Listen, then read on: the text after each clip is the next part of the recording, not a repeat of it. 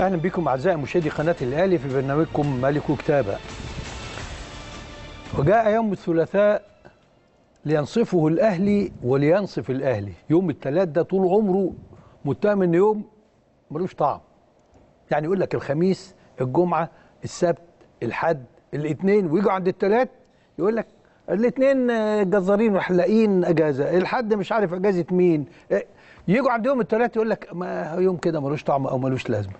ولكن الثلاثاء الماضي وسيتوقف التاريخ أمامه نقطة تحول في أكثر من مسار وكان يوما جميلا سعيدا تم فيه إنصاف يوم الثلاثاء والنادي الأهلي. إبراهيم. أهلا بك يا باشمهندس واهلا بكم اعزائي المشاهدين وموعد يتجدد معكم في لقاء الخميس من ملك وكتابة. الحمد لله على السلامة يا باشمهندس. الله يسلمك. وألف سلامه عليكم الحمد لله. الحمد لله. خلاص خلص بس ياك التكييف ما خلص عليا تاني. ما أنا باجي باجي كويس. والله والنية كويس. زي ما أشار المهندس عدلي الثلاث الأهلي آه، حقق انتصار مهم جدا. عاد للبطولة الأفريقية. عاد لينقذ. لينقذ أسهمه مع الأميرة الأفريقية. يبقى بإذن الله تعالى تأكيد هذا التفوق في مباراة العودة في تاونشيب. مع تاونشيب في آه، بوتسوانا آه، يوم 28 إن شاء الله ليواصل الأهلي زحفه بقوة نحو البطولة يا باشمهندس آه تمام طب هو هو هو يوم الثلاث ده يوم حلو ليه؟ إيه اللي حصل في يوم الثلاث؟ مم. اللي حصل في يوم الثلاث من قبلها بيوم ظهر البيان المسؤول العاقل للكابتن محمود الخطيب. ثم أتى يوم الثلاثاء وهو كانت يعني في مجمله كان في رسالة إلى الجماهير. وإحنا هنا الحقيقة وجهنا رسائل كثيرة ومعظم الناس.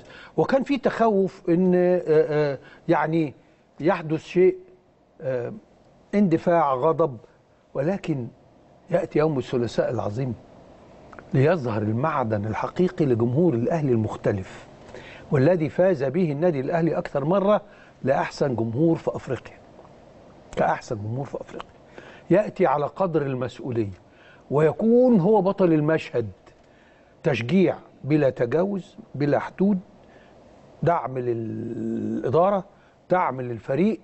وكان مردوده على الملعب رائعا الذي أيضا جاء يوم الثلاثاء ليقدم الجهاز الفني الجديد فريق الأهلي بثوبه الجديد. فرأينا كارتيرون يحقق آه، كلنا كنا متخوفين قلنا الماتش ده مفصلي إن ما إن كسبناه آه، هنسترد فرصنا. آه، لا قدر الله وكان الحمد لله إنه ما حصلش كان هنبقى خلاص. الموضوع بعد قوي فالناس شافت كارتيرون شافت تغيرات تغييرات وشافت الماتش مش مش متوهج قوي من الناحية الفنية لكن من الناحية الفكرية والفلسفية في الملعب الناس اطمأنت على كارتيرون. أيضا لأول مرة تيجي صفقة كده ما حدش عارف عنها حاجة كوليبالي في مكان يحتاجه النادي الأهلي يقيد افريقيا يلعب بعد عدة أيام يظهر بهذا المظهر الطيب والانسجام والعقل ويظهر إنك أنت صفقة كنت محتاجها. هذا نجاح. ثم وليد أزارو. الناس كانت قلقانة جدا. كانت بتقول هو وليد أزارو آه، هيقعد وغضبان بقى وهنقعد حلني على ما فيأتي وليد أزارو بمسؤولية وكان شيئا لم يكن بمنتهى الحماس ليكون نجم المباراة الأول ويحرز أول الأهداف ويساهم في آه، باقي الأهداف.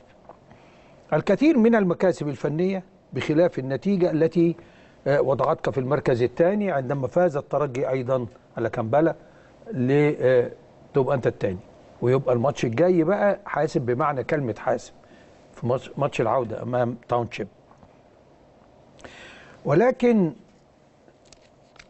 أبى اليوم أن ينتهي إلا وقد تم وضع نقاط كثيرة على الحروف. فرأينا مبادرة حسمت كل الخلافات وتلقفها النادي الأهلي بعدها باستجابة ها؟ علشان آه يعني كان في تهدئة ودعوة إلى تهدئة. ثم المبادرة التي آه، مش هخش في تفاصيلها انها اتعادت وثمنها النادي الأهلي ونحن من هنا نثمن. أي عاقل أي عاقل يعني حتى في مبدأ في الدنيا التقاضي ولا التراضي؟ يعني أحيانا بالتراضي قد تتنازع عن جزء من حقك بس تاخد حقك في التوقيت المناسب ما تاخدوش مؤجل. اذا كان لهذه المبادرة تداعياتها التي أسفرت أيضا ها؟ عن آه، كشف كشف حقيقي. يعني هذه المبادرة ونتائجها ملهاش إلا عنوان واحد ولا عزاء للمتربصين ولا عزاء لأعداء الاهلي أولئك الذين يقتطون على موائد الخلاف والذين سعوا منذ الدقيقة الأولى لأن يصل هذا الأمر إلى خلاف وإلى هذه نتائج ولكن الحمد لله بمسؤولية الكبار ال- كل الأطراف يتجاوزوا هذا الأمر ليبقوا معنا وقد تجردوا من ورقة التوت. أعداء الأهلي يا أستاذ إبراهيم اللي ظهروا على السطح وكنا نظنهم ما كناش نظنهم إحنا نبهنا إنهم كامنين ولكنه كالثعابين. البيات الشوتي يدفأوا ليلدغوا ويتصوروا أن هم هترجع الزمن وهيرجعوا يخترقوا الاهلي ويتواجدوا على المشهد من جديد. هيهات أنتوا بتاخدوا اللي أنتوا متصورينه وبتحبوه والذي أتاح لكم الفرصة لاختراق الاهلي بتاخدوه إلى مصير يرفضوا الاهلي تماما. لأن الاهلي لن يتسامح مع أحد يعبث بثوابته وبتقاليده ويسخر منها. البيل عمال كل يوم والتاني انت مش شايف إلا لا يا راجل ده انت زملكاوي ما تخليك في النتيجة مش شايف حاجة حلوة؟ مش شايف الزمالك ده يستحق منك سطرين حلوين. مش شايف في صفقات جميلة بتتعمل مش شايف في موسم يجب أن ترحب به. وأنت الزملكاوي اللي قلت آآ آآ الله يرحمك أبويا كنت فينك؟ عشان تشوفوا الزمالك بيكسب الدوري والكاس. أنت مهموم قوي بالأهلي وعمال تقدم له النصايح.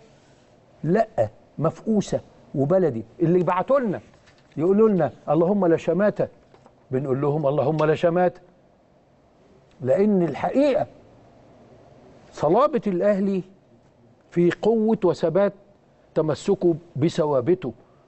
وعايز أقول حاجة معلش يا أستاذ إبراهيم دي مهمة الحاجات تذكر مع بعضها. الغالبية مرحبة بهذا الهدوء وهذا الاستقرار وهذا كل واحد بقى يركز عشان نشوف موسم جميل. كأس العالم كان عنوانه البهجة. متى نرى هذه الكرة؟ نريد أن نراها. ونريد أن أن نبني على نجاح تجربة عودة الجماهير من خلال مباراة تاون شيب لازم بقى الاعداد تتضاعف عن كده. ولكن مسألة إن إحنا نحبس نفسنا في إطار يعني تخيل كده أستاذ إبراهيم لو جيلنا إحنا بقى وكان موجود بقى كل الوسائل المتاحة دي من وسائل التواصل الاجتماعي وبتاع ولقينا قدامنا مختار التتش ولقينا قدامنا آه تاريخ آه آه عمر لطفي والرموز وطلعت حرب باشا وبعدين ثم آه، آه، كابتن صالح سليم وعبد العزيز الشافعي. تخيل بقى دول لو إحنا عملنا زي اليومين دول وكل نفس وكل شارده وارده نحاسبهم عليها ها ونبتزهم بمواقفهم وبمبادئهم. هل كان هؤلاء الذين يعجبون بالأهلي الآن سيجدوا الأهلي الذي أحبوه؟ سؤال. صحيح. لو إحنا عملنا كده طيب إحنا شفنا الأهلي الجميل ده حاولنا نحافظ عليه وربنا سهل وكنا جزء بسيط من هذا التاريخ على مدى 40 أو 50 سنة. كابتن حسن الكابتن الخطيب رموز كثيرة مش عايز اعد طب النهارده إحنا عمالين نجلد هؤلاء بكرباج المبادئ بحق يراد به باطل. لا المبادئ في مواقف الأهلي المبادئ في كبرياء والمبادئ في صمته حتى يحصل على حقه. المبادئ في إنك ما- كرامتك يا أستاذ إبراهيم تصرفاتك. وأنا بكررها مرة أخرى ما فيش حاجة تخوفنا إلا تصرفاتنا. لما نتصرف بغضب أو تهور أو اندفاع أو عدم مراعاه للصالح العام كابتن خطيب قال كلام رائع. قال لك مسؤوليتنا مسؤوليتنا أمام المجتمع الدولي والعربي مسؤوليتنا أمام آه، مصالح بلدنا. خلينا إن إحنا مش كل تعرف لو كل واحد في بيته حتى مسك على الكلمة مفيش بيت يكمل. صحيح. بتجي لك لحظة تقول كلام تندم عليه وتسمع كلام ما كنت تتمناه ولكن مسؤوليتك عن بيتك واستقراره وتحضن عليه وتعبر بيه الأزمات بيخليك تتنازل وخلي الطرف الآخر يتنازل وخلي ولادك يعرفوا إن ساعة الجد يتكلموا إزاي معاك وم- كده. المسؤولية هي دي يا أستاذ إبراهيم مش إن أنا أقعد أنظر عليه حق يراد به باطل. الذين اقتاطوا على الخلاف معروفين. طيار سابق لحد دلوقتي مش مصدق إنه بعد عن مشهد ولا عودة له ها؟ لأنه اعتمد في ركيزة العودة على إنه يزرع لنا أعداء الأهلي داخل النادي الأهلي ودي غير مقبول وما حدش هيقبل حتى لو النظام الحالي مش عاجبهم حي... ح... الناس هتدور على نظام جديد. ولكن النظام الحالي يثبت جداراته واخد بالك؟ النقطة آه، آه، آه، اللي عايز أقولها يا أولادنا خليكوا جنب الأهلي. شفتوا لما وقفتوا جنب الأهلي؟ شفتوا إيه اللي حصل؟ يوم الثلاث ده أسفر عن شيء رائع جدا يا أستاذ إبراهيم. هذه اللحمة القوية التي ما راهن عليها الأهلي يوما وخذله جمهوره. الأهلي وقيادته لحمة واحدة في هدف واحد مصلحة النادي الأهلي وبما يحافظ على مصالح الأوطان العليا. أنا خلصت الكلام لو عايز تقول حاجة. عايز أقول لك نص البيان اللي صادر عن النادي الأهلي. آه، يود مجلس إدارة النادي الأهلي أن يوضح ما يلي. النادي الأهلي يتحرك كعهده دائما في إطار مسؤولياته المجتمعية والوطنية ويدرك تماما دوره الريادي كأكبر الكيانات الرياضية في وطننا العربي. في ترسيخ العلاقات المتميزة بين الجماهير العربية والبعد بها عن أي فتنة قد تصيبها. اثنين يثمن مجلس إدارة النادي الأهلي مبادرة المستشار تركي آل الشيخ في غلق صفحة الخلافات التي لم ولن يستفيد منها.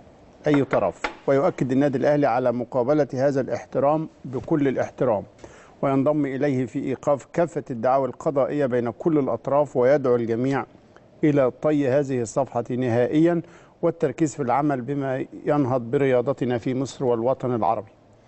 ثلاثة يتمنى النادي الأهلي التوفيق للسيد المستشار تركي آل الشيخ وشركائه المستثمرين في تجربتهم الجديدة بنادي بيراميدز في إطار من المنافسة الشريفة لإعلاء قيمة الرياضة العربية.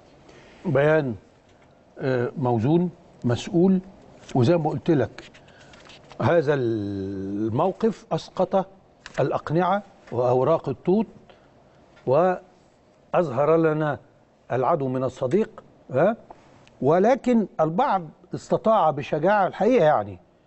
وده اللي أنا عايز أقوله إنه يعتذر. ونحن مش هنخش في النوايا هنصدق أن هذا اعتذار راسخ نابع آه، عن قناعة.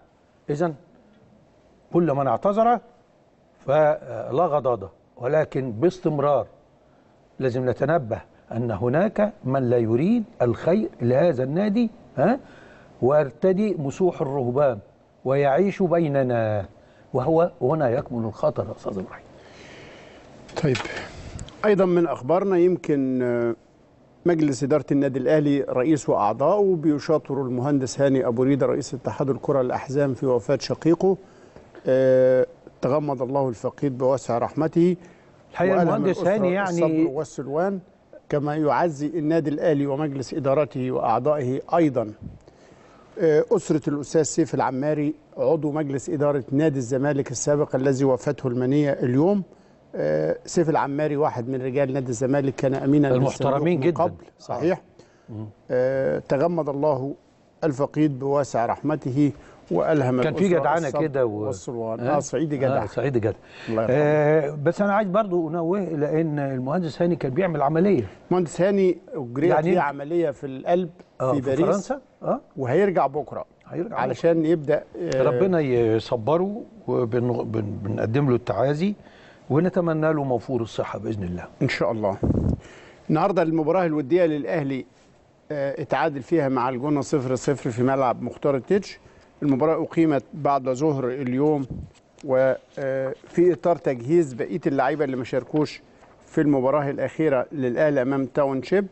آه، كارتيرون اهتم دي بعض اللقطات اللي سبقت المباراة وفترة الأحماء اللي قبلها.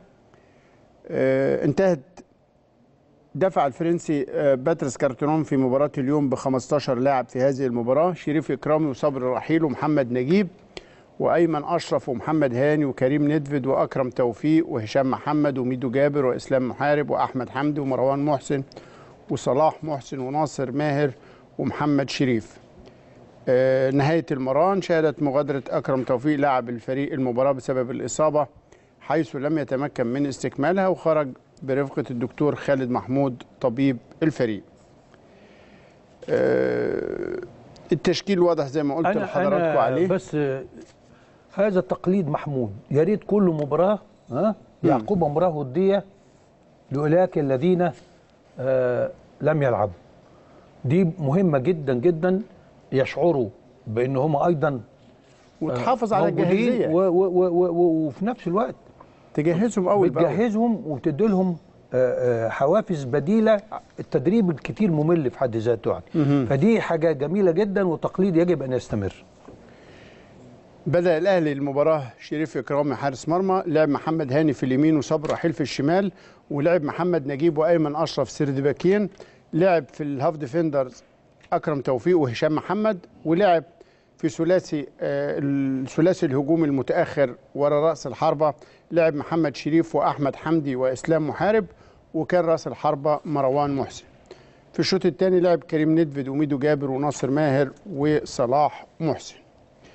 آه، أكرم توفيق اللي خرج مصاب الدكتور آه، خالد محمود قال إن الإصابة عبارة عن كدمة في وجه القدم آه، هيحتاج يمكن لفحص طبي بكرة تاني علشان يطمن على درجة الكدمة بالظبط ده آه، استعدادا للسفر يوم الثلاث القادم إن شاء الله إلى آه، بتسوانا عشان أداء مباراة الأهلي والتاونشيب مباراة العودة أو مباراة الجولة الرابعة إن شاء الله البعثه هتكون برئاسة الأستاذ خالد الدرندلي أمين الصندوق. أيضا من أخبارنا الأهلي بيرفض المشاركة في بطولة العالم لكرة اليد للأندية المقرر إقامتها في قطر والقرار جاي بسبب الموقف السياسي الوطني لمصر تجاه قطر وما تفعله. البطولة في شهر أكتوبر اللي جاي إن شاء الله وهذا قرار يتسق مع مواقف النادي الوطنية الثابتة. بس في نقطة مهمة لازم الناس تفهمها. مم. لأن برضه في ناس عمالة تنظر. آه. آه، الأهلي ما كانش هو ال- المؤهل. الزمالك كان مؤهل بصفته بطل السوبر المصري. كأس العالم للأندية. واعتذر الزمالك. لم يتحدث أحد. السوبر الأفريقي آه. السوبر الافريقي لم يحت... لم ي... لم يتحدث أحد. مم. واعتذر الأهلي فتحدث الجميع. قدرك يا أهلي. ولكن الزمالك صح والأهلي صح. طب في سؤال منطقي. مم. يعني برضو من أسئلة السوشيال ميديا المنطقية. مم. طب ماذا لو منتخب مصر إن شاء ده الله سؤال منطقي. آه في 22 ما يجي لكأس العالم؟ 22 أنت عايز الأمور تستنى زي ما هي لحد 22 يا راجل. اولا هو أنت عارف كأس العالم هيتعمل في 22 فين. نمرة اتنين بس نتأهل ها؟ وأعتقد أمور كتير هتتصلح قبليه آه. يعني هيجي يوم نتلت على المشاركة في كأس العالم. تاخد بالك ما وصلتش عموما موقف الهاندبول كان السنة اللي فاتت نفس الحكاية. نفس الشيء. الأهلي اعتذر وكان البطل والزمالك اعتذر. لما اختير كبديل آه، آه، هم تبادلوا الأدوار. والموقف ثابت. وأصل ده منطقي. ما هو انت ما أنت لازم تتسق مع نفسك. أنت دولة بتعاديك وبتصدر لك الإرهاب. هتروح تلعب عندها و و و و وتدعم بطولاتها؟ لا. لا طبعا. طيب من أخبار الكورة الكابتن محمد يوسف بيوضح حكاية القائمه الأفريقية وما تشهده من لغط. أكد محمد يوسف المدرب العام القائم بأعمال مدير الكرة إنه الجهاز الفني بقيادة آه، باتريس كارتيرون لم يحدد الاسمين الأخيرين في قائمة الأهلي الأفريقية حتى الآن. وقال يوسف إن حسم المكانين الشاغرين هيتم وفقا لوجهة نظر المدير الفني فيما يتعلق بتحديد من سيتم قيده. وقال يوسف أن باب القيد الأفريقي لا يزال ممتد حتى يوم 4 أغسطس القادم. مسألة قيد لاعب أو اثنين قبل مباراة تاونشيب تعود لوجهة نظر كارتيرون وذلك مثلما حدث مع المالي سليف كوليبالي قبل المباراة الأخيرة. الأهلي بعد فوزه في المباراة الأخيرة قفز للمركز الثاني خلف الترجي المتصدر. المنطق يقول إنه الفريقين العربيين ممكن جدا مؤهلين للتأهل معا لكن ده يحتاج للأهلي أو يحتاج من الأهلي في بتسوانا يفوز الماتش الجاي. علشان الجولة اللي بعديها آه، هيسافر للترجي في تونس. يبقى في أريحية ومطالع ثم يختتم في القاهرة مع كمبالا سيتي. شوف ليه تعقيب طبعا آه. على فكرة إن أنا عندي لحد يوم 4 أغسطس يعني عندي أكتر من أسبوعين. آه إن أنا أفكر آه أحط مين. امم وعدم التسرع هنا مهم ليه؟ لأن قد تضع لاعب أو يصاب لك لاعب فتلاقي نفسك تفكيرك اتغير في, في, في اللي هيقيد. في أكتر من لاعب يستحق الضم. وهو مبسوط من أكتر من لاعب.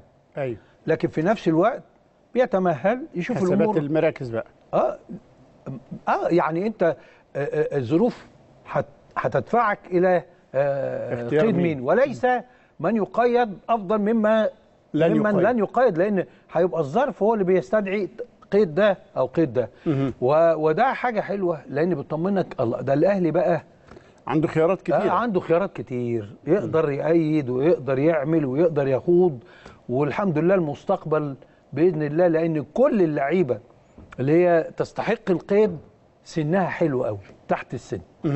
فده يطمئنك على إن النادي الأهلي مش هيتعرض إنه يبقى تحت ضغط آه، التجديد وال- والمراحل السنية وال... وتقدر تجيب ولا مش هتقدر تجيب لعيبة؟ ما إحناش عارفين الدنيا وأسعارها. هتروح لحد فين؟ هل هيتدخل اتحاد الكره كما فعل الاتحاد السعودي وأحسن أن فعل هذا؟ يجب أن نقتبس التجارب الطيبة. إن إحنا نحدد سقف لرواتب وسقف للانتقالات. يا ريت يحدث هذا. آن الأوان. آن الأوان إن كل شيء يرجع لسياقه وإلا آه يعني يعني أنت تؤيد تحديد عدد اللعيبة المسموح بانتقالهم لكل نادي؟ ما تهمنيش قوي دي. امم دي ما تهمنيش. لأن الحقيقة دي بتخضع برضه لفلسفة النادي. وهو هيبقى يا يضر نفسه يا يفيد نفسه. لكن يهمني قوي إن اللعيبة في سقف. ادي الحاجة ثمنها طيب هتسيطر عليها إزاي ما في أندية هتدفع من لا لا من بره العقود. لا لا لا مفيش حاجة اسمها كده. مفيش هيدفع من من ميزانيته. ولا من محبين ولا هتبقى إزاي؟ من محبين. طب والنادي اللي خد هيسجل في ميزانيته ولا هيعمل ولا هيحطها في الدرج؟ لا أمال الرقابة إيه والشفافية إيه يا أستاذ إبراهيم؟ ما نقعدش نتخوف من التحايل على اللوائح. حط اللوائح وراقبها بصرامة واللي يغلط يا أخي منتهى العنف. يعني كان في لحظة ما في اللوائح المصرية إنك ممكن تخصم 3 بونت. تخصم 3 بونت توصل للدرجة دي. مم. من فريق. تخيل إن أنت لو بتطبق هذه اللوائح جمهورك هيلتزم ولا مش هيلتزم؟ لأن العقوبة هنا آه هتقول النادي لا ده الجمهور هيدفعها بشكل مباشر. أنا أرجو إن إحنا مرة واحدة نظهر الوجه الحازم الذي فيه إرادة لإحقاق الحق وصالح الكرة المصرية. خلينا نتطور ونلحق العالم. الأهلي يتمسك باللاعب ليه؟ لأنه يراه قيمة مستقبلية. يعني الأهلي تلقى عرض في لشراء عروض جاية مش عرض. واحد لا طبعا. آه. في عروض. في لكن مصر ولا بره مصر؟ بره مصر. وفي مصر. مصر بس هو المشكلة اللي في مصر هو مش عايز يلعب في مصر. امم يعني يعني آه، وهو ده حق. مم. لكن لو بره مصر لا آه، باكر آه، لعيب واعد جدا وعنده إمكانيات وسرعات وحاجة حلوة قوي الظرف خلانا احتاجنا للاعب في الوسط المدافع. طيب خليني أقول لك على ال ال الكلام عن موقف باكا وإنه في حد بيلعب في ودانه وفي حد عايز يخلق منه أزمة ومشكلة والصحيفة تتحدث عن وكيل اللاعب وهو محمد جمال العاصي اللي كان وكيل أو كان أنشط الوكلاء في التعامل مع لاعبي النادي الأهلي ومع النادي هو الأهلي. الأربع أجانب هو الوكيل بتاعهم. الأربعة. آه. هو اللي يعني. هو حتى في التعامل في أزارو كان هو اللي موجود. امم آه كان بي يعني بيقول لي شوف بيقولوا عليا قلت له اسمع أدائك هو اللي هيحكم عليك. امم يتقال عليا يتقال عليك مش دي النقطة. إنما كيف تنتهي الأمور؟ وهل الأهلي استفاد منها؟ وكان كل شيء على مرام. ومنطقي ولا في شيء آه، مبالغ فيه وشيء مش مظبوط. فالأداء مسألة بقى إن أنا أوجه له الاتهام. هم طبعا آه، آه، مسألة إن أنت ت- خلاص هو وكيل باكا آه، يبقى أنت هتتعامل معاه. أهو ده ما- ما- لا مناص من هذا. بس هو كمان وهو بيدور على مصلحة باكا يحط في خياله كده م? اللي قد تخرج من مصلحة باكا إنه يخرج إعارة ما يخرجش ما يخرجش بيع نهائي. وإذا كان هيخرج أعاره بنية البيع يبقى شيء لائق. شوف أنت جبته بكام وتطور إزاي. وعايز تعمل معاه إيه؟ فلا بأس أن يكون العاصي أو أو غير العاصي يعني لكن العبرة بالأداء الذي ينتهي إلى صالح اللاعب والنادي. لكن اديني عقلك بقى علشان أقول لك إنه نفس الصحيفة وهي بتتكلم على أزمة باكا وازاي الراجل عايز يمشي ببلاش إنه يتم جعل مجلس الإدارة يعقد جلسة مع الجهاز الفني للبحث عن مخرج للأزمة إما بإجبار اللاعب على الإعارة أو بإيجاد حل إيجابي لإعارة سليف كوليبالي لأحد الأندية المصرية حتى يناير يعني كوليبالي لسه متسجل في إفريقيا ولسه مشارك في المباراة الأخيرة. بدأ العناصر الشابة جدا. أعتقد الكابتن علاء ميهوب ولجنته ليها دور كبير مؤكد. في ال... لا لا مش في دول بس. آه. لا هو هو اللجنة دي فيها مين؟ فيها علاء ميهوب. مع احترامي الألفاظ راجل محدش يقدر يتكلم لا على كفاءته ولا على قدراته ولا عينه ولا إخلاصه. آه كابتن هشام حنفي كابتن حمدي ابو راضي الكابتن ناجي خليل تحت قيادة الكابتن علاء ميهوب. وأنا من أول ما جيت كمستشار آه للت- للتسويق التعاقدات آه، والكابتن طلب مني أضع تصور للإدارة.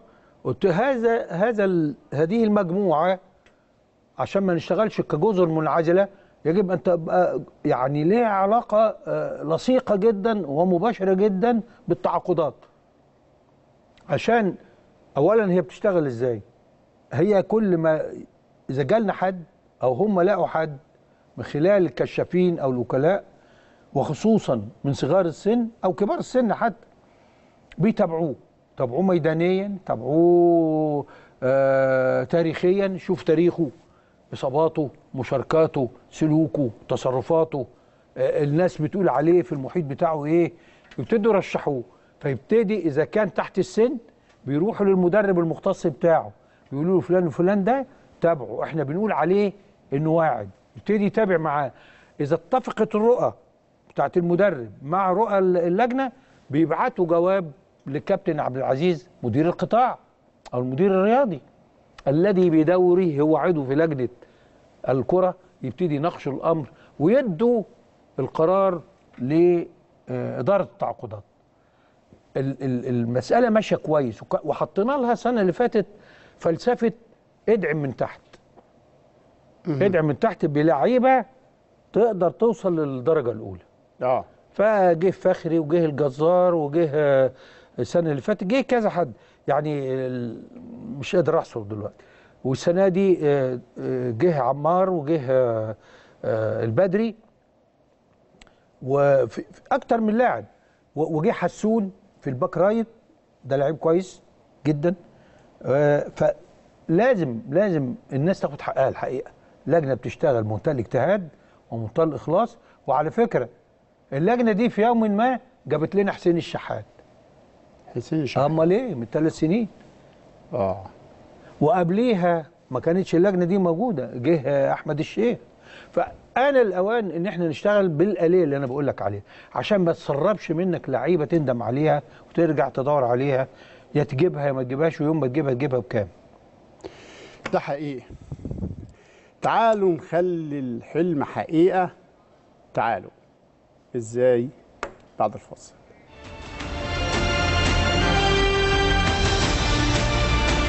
الضرورة ما كانش عنده أي خيار آخر غير الفوز. والحمد لله حقق المكسب بثلاثة أهداف.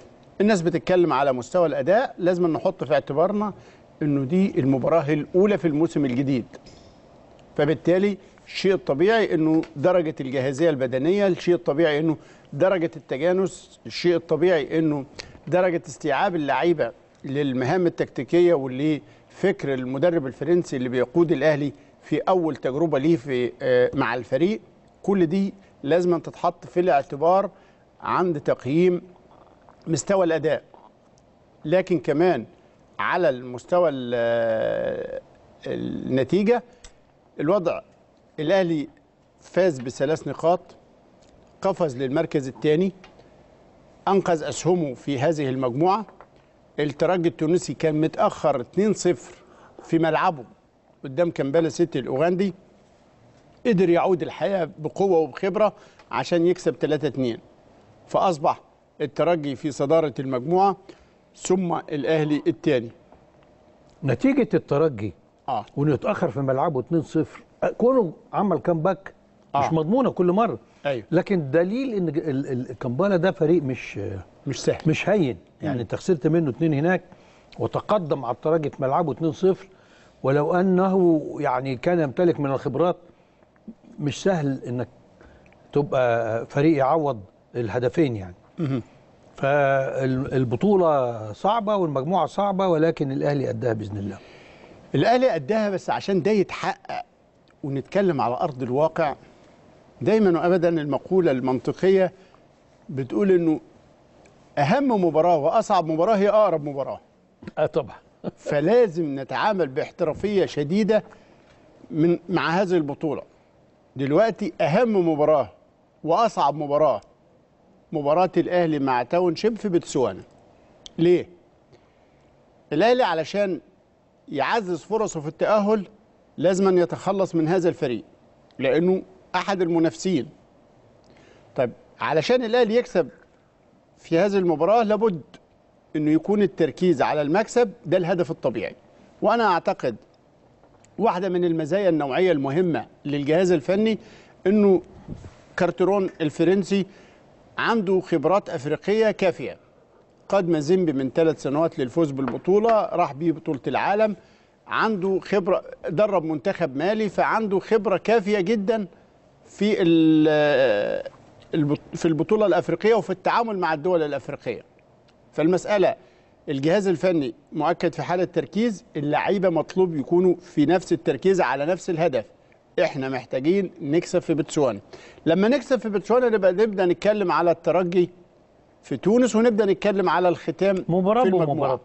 واحدة بواحدة بهذا التركيز. ساعتها نتكلم على التأهل ونشوف إيه الفرص. نشوف في هذا التقرير الصوتي عن فوز الأهلي الأفريقي وكيف يسهم في تحقيق القبض على الأميرة.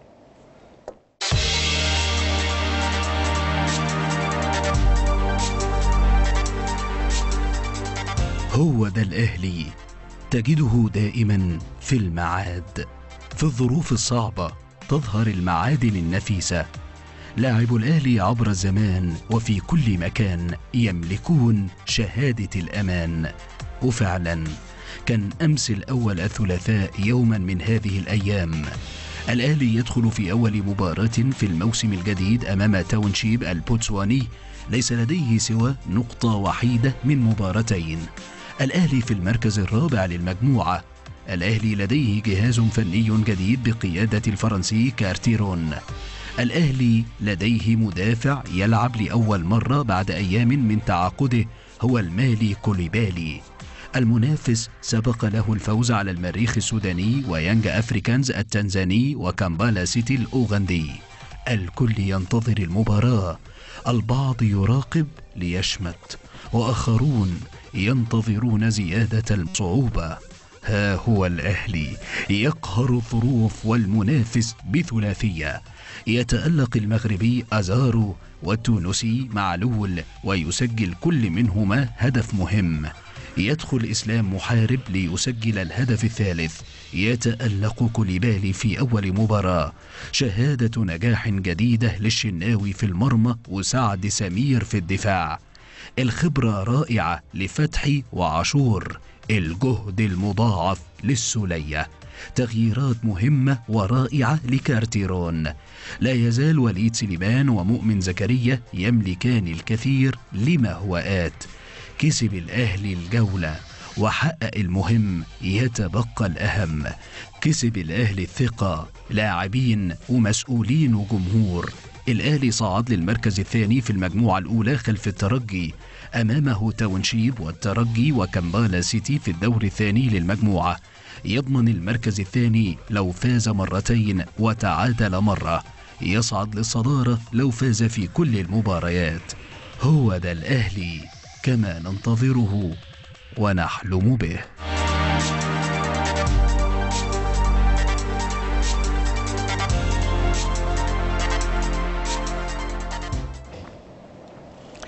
زي ما قلنا هي واحدة واحدة. الماتش ده كان محوري. ومفصلي والفوز به أو فيه كان حتمية. إذا كنا عايزين نستمر ونستعيد الأرض التي آه، اهتزت تحت أقدامنا. كسبنا المباراة دي يا أستاذ إبراهيم. مم. وكسبناها بشكل معقول. وبمكاسب كثيرة في الملعب زي ما قلنا في في البداية. وت- تعرفنا على فكر ال- المدرب. وتعرفنا على عينه في اختيار اللاعبين وتوظيفهم. وأيضا شفنا تألق أزارو تألق إسلام محارب تألق آه، عناصر كثيرة مش عايز أقعد أحصر لكن اللي يعنيني هنا طيب هل سنجد تاونشيب بهذا الأداء وهنجد الاهلي بهذا التفوق هناك مم. إيه رأيك شوف فرصة الأهلي هناك أسهل من هنا. يا راجل. آه.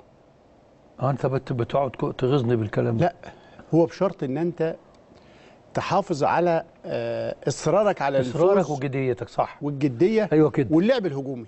أه. أنت لو اولا تاون شيب في ملعبه مش هيقفل القفلة اللي كان قافلها هنا قبل ما يتسجل الهدف الأول. أنت تلاحظ إنه بعد الهدف الثاني الظروف في تلت ملعبه الأخير بقت أوضح وأسهل. لأنه خلاص الراجل يعني هيبدأ يهاجم ويبدأ يحاول آه، يحاول يعمل حاجة. ده اللي هيسعى له من هناك. عشان كده من البداية توقع إنه هيهاجم وهيبقى هدفه إن هو يكسب في وسط جمهوره. لو أنت بغته بشجاعة وبجرأة أنت اللي بتهاجمه هتربكه تماما. أنت خبرات لعيبه لعيبتك أعلى. دوافعك في المباراة أقوى. خبرة المدير الفني بتاعك أعلى. هو المفروض الدوافع. متساويه انت أربعة وهو ثلاثة لا انت وعلى ملعبه. ماشي بس انت انت انت حتى هما بيتكلموا بيتكلموا إن ده فريق بطل. فريق آه. ليه قيمته. ده ده ده فأنت ليك هيبتك. المدرب بيتكلم. أتمنى صعود الأهلي. آه آه مدرب صربي لكنه يعني عارف كل حاجة وملم بطبيعة ال- ال- ال- ياك ما الخريطة الأفريقية. بيخدرنا بس. ايا كان لكن أنت المفترض تحافظ على ال- ال- النجاعة الهجومية بتاعتك. في الضغط عليه. يا رب اللعيبة تبقى فاهمة هذا وأعتقد إن هم بيقدروا يفهموا ده. مهم. و- و- ويعملوا من أجل هذا لأن أنا متوقع الجهاز الفني هيعمل دوره.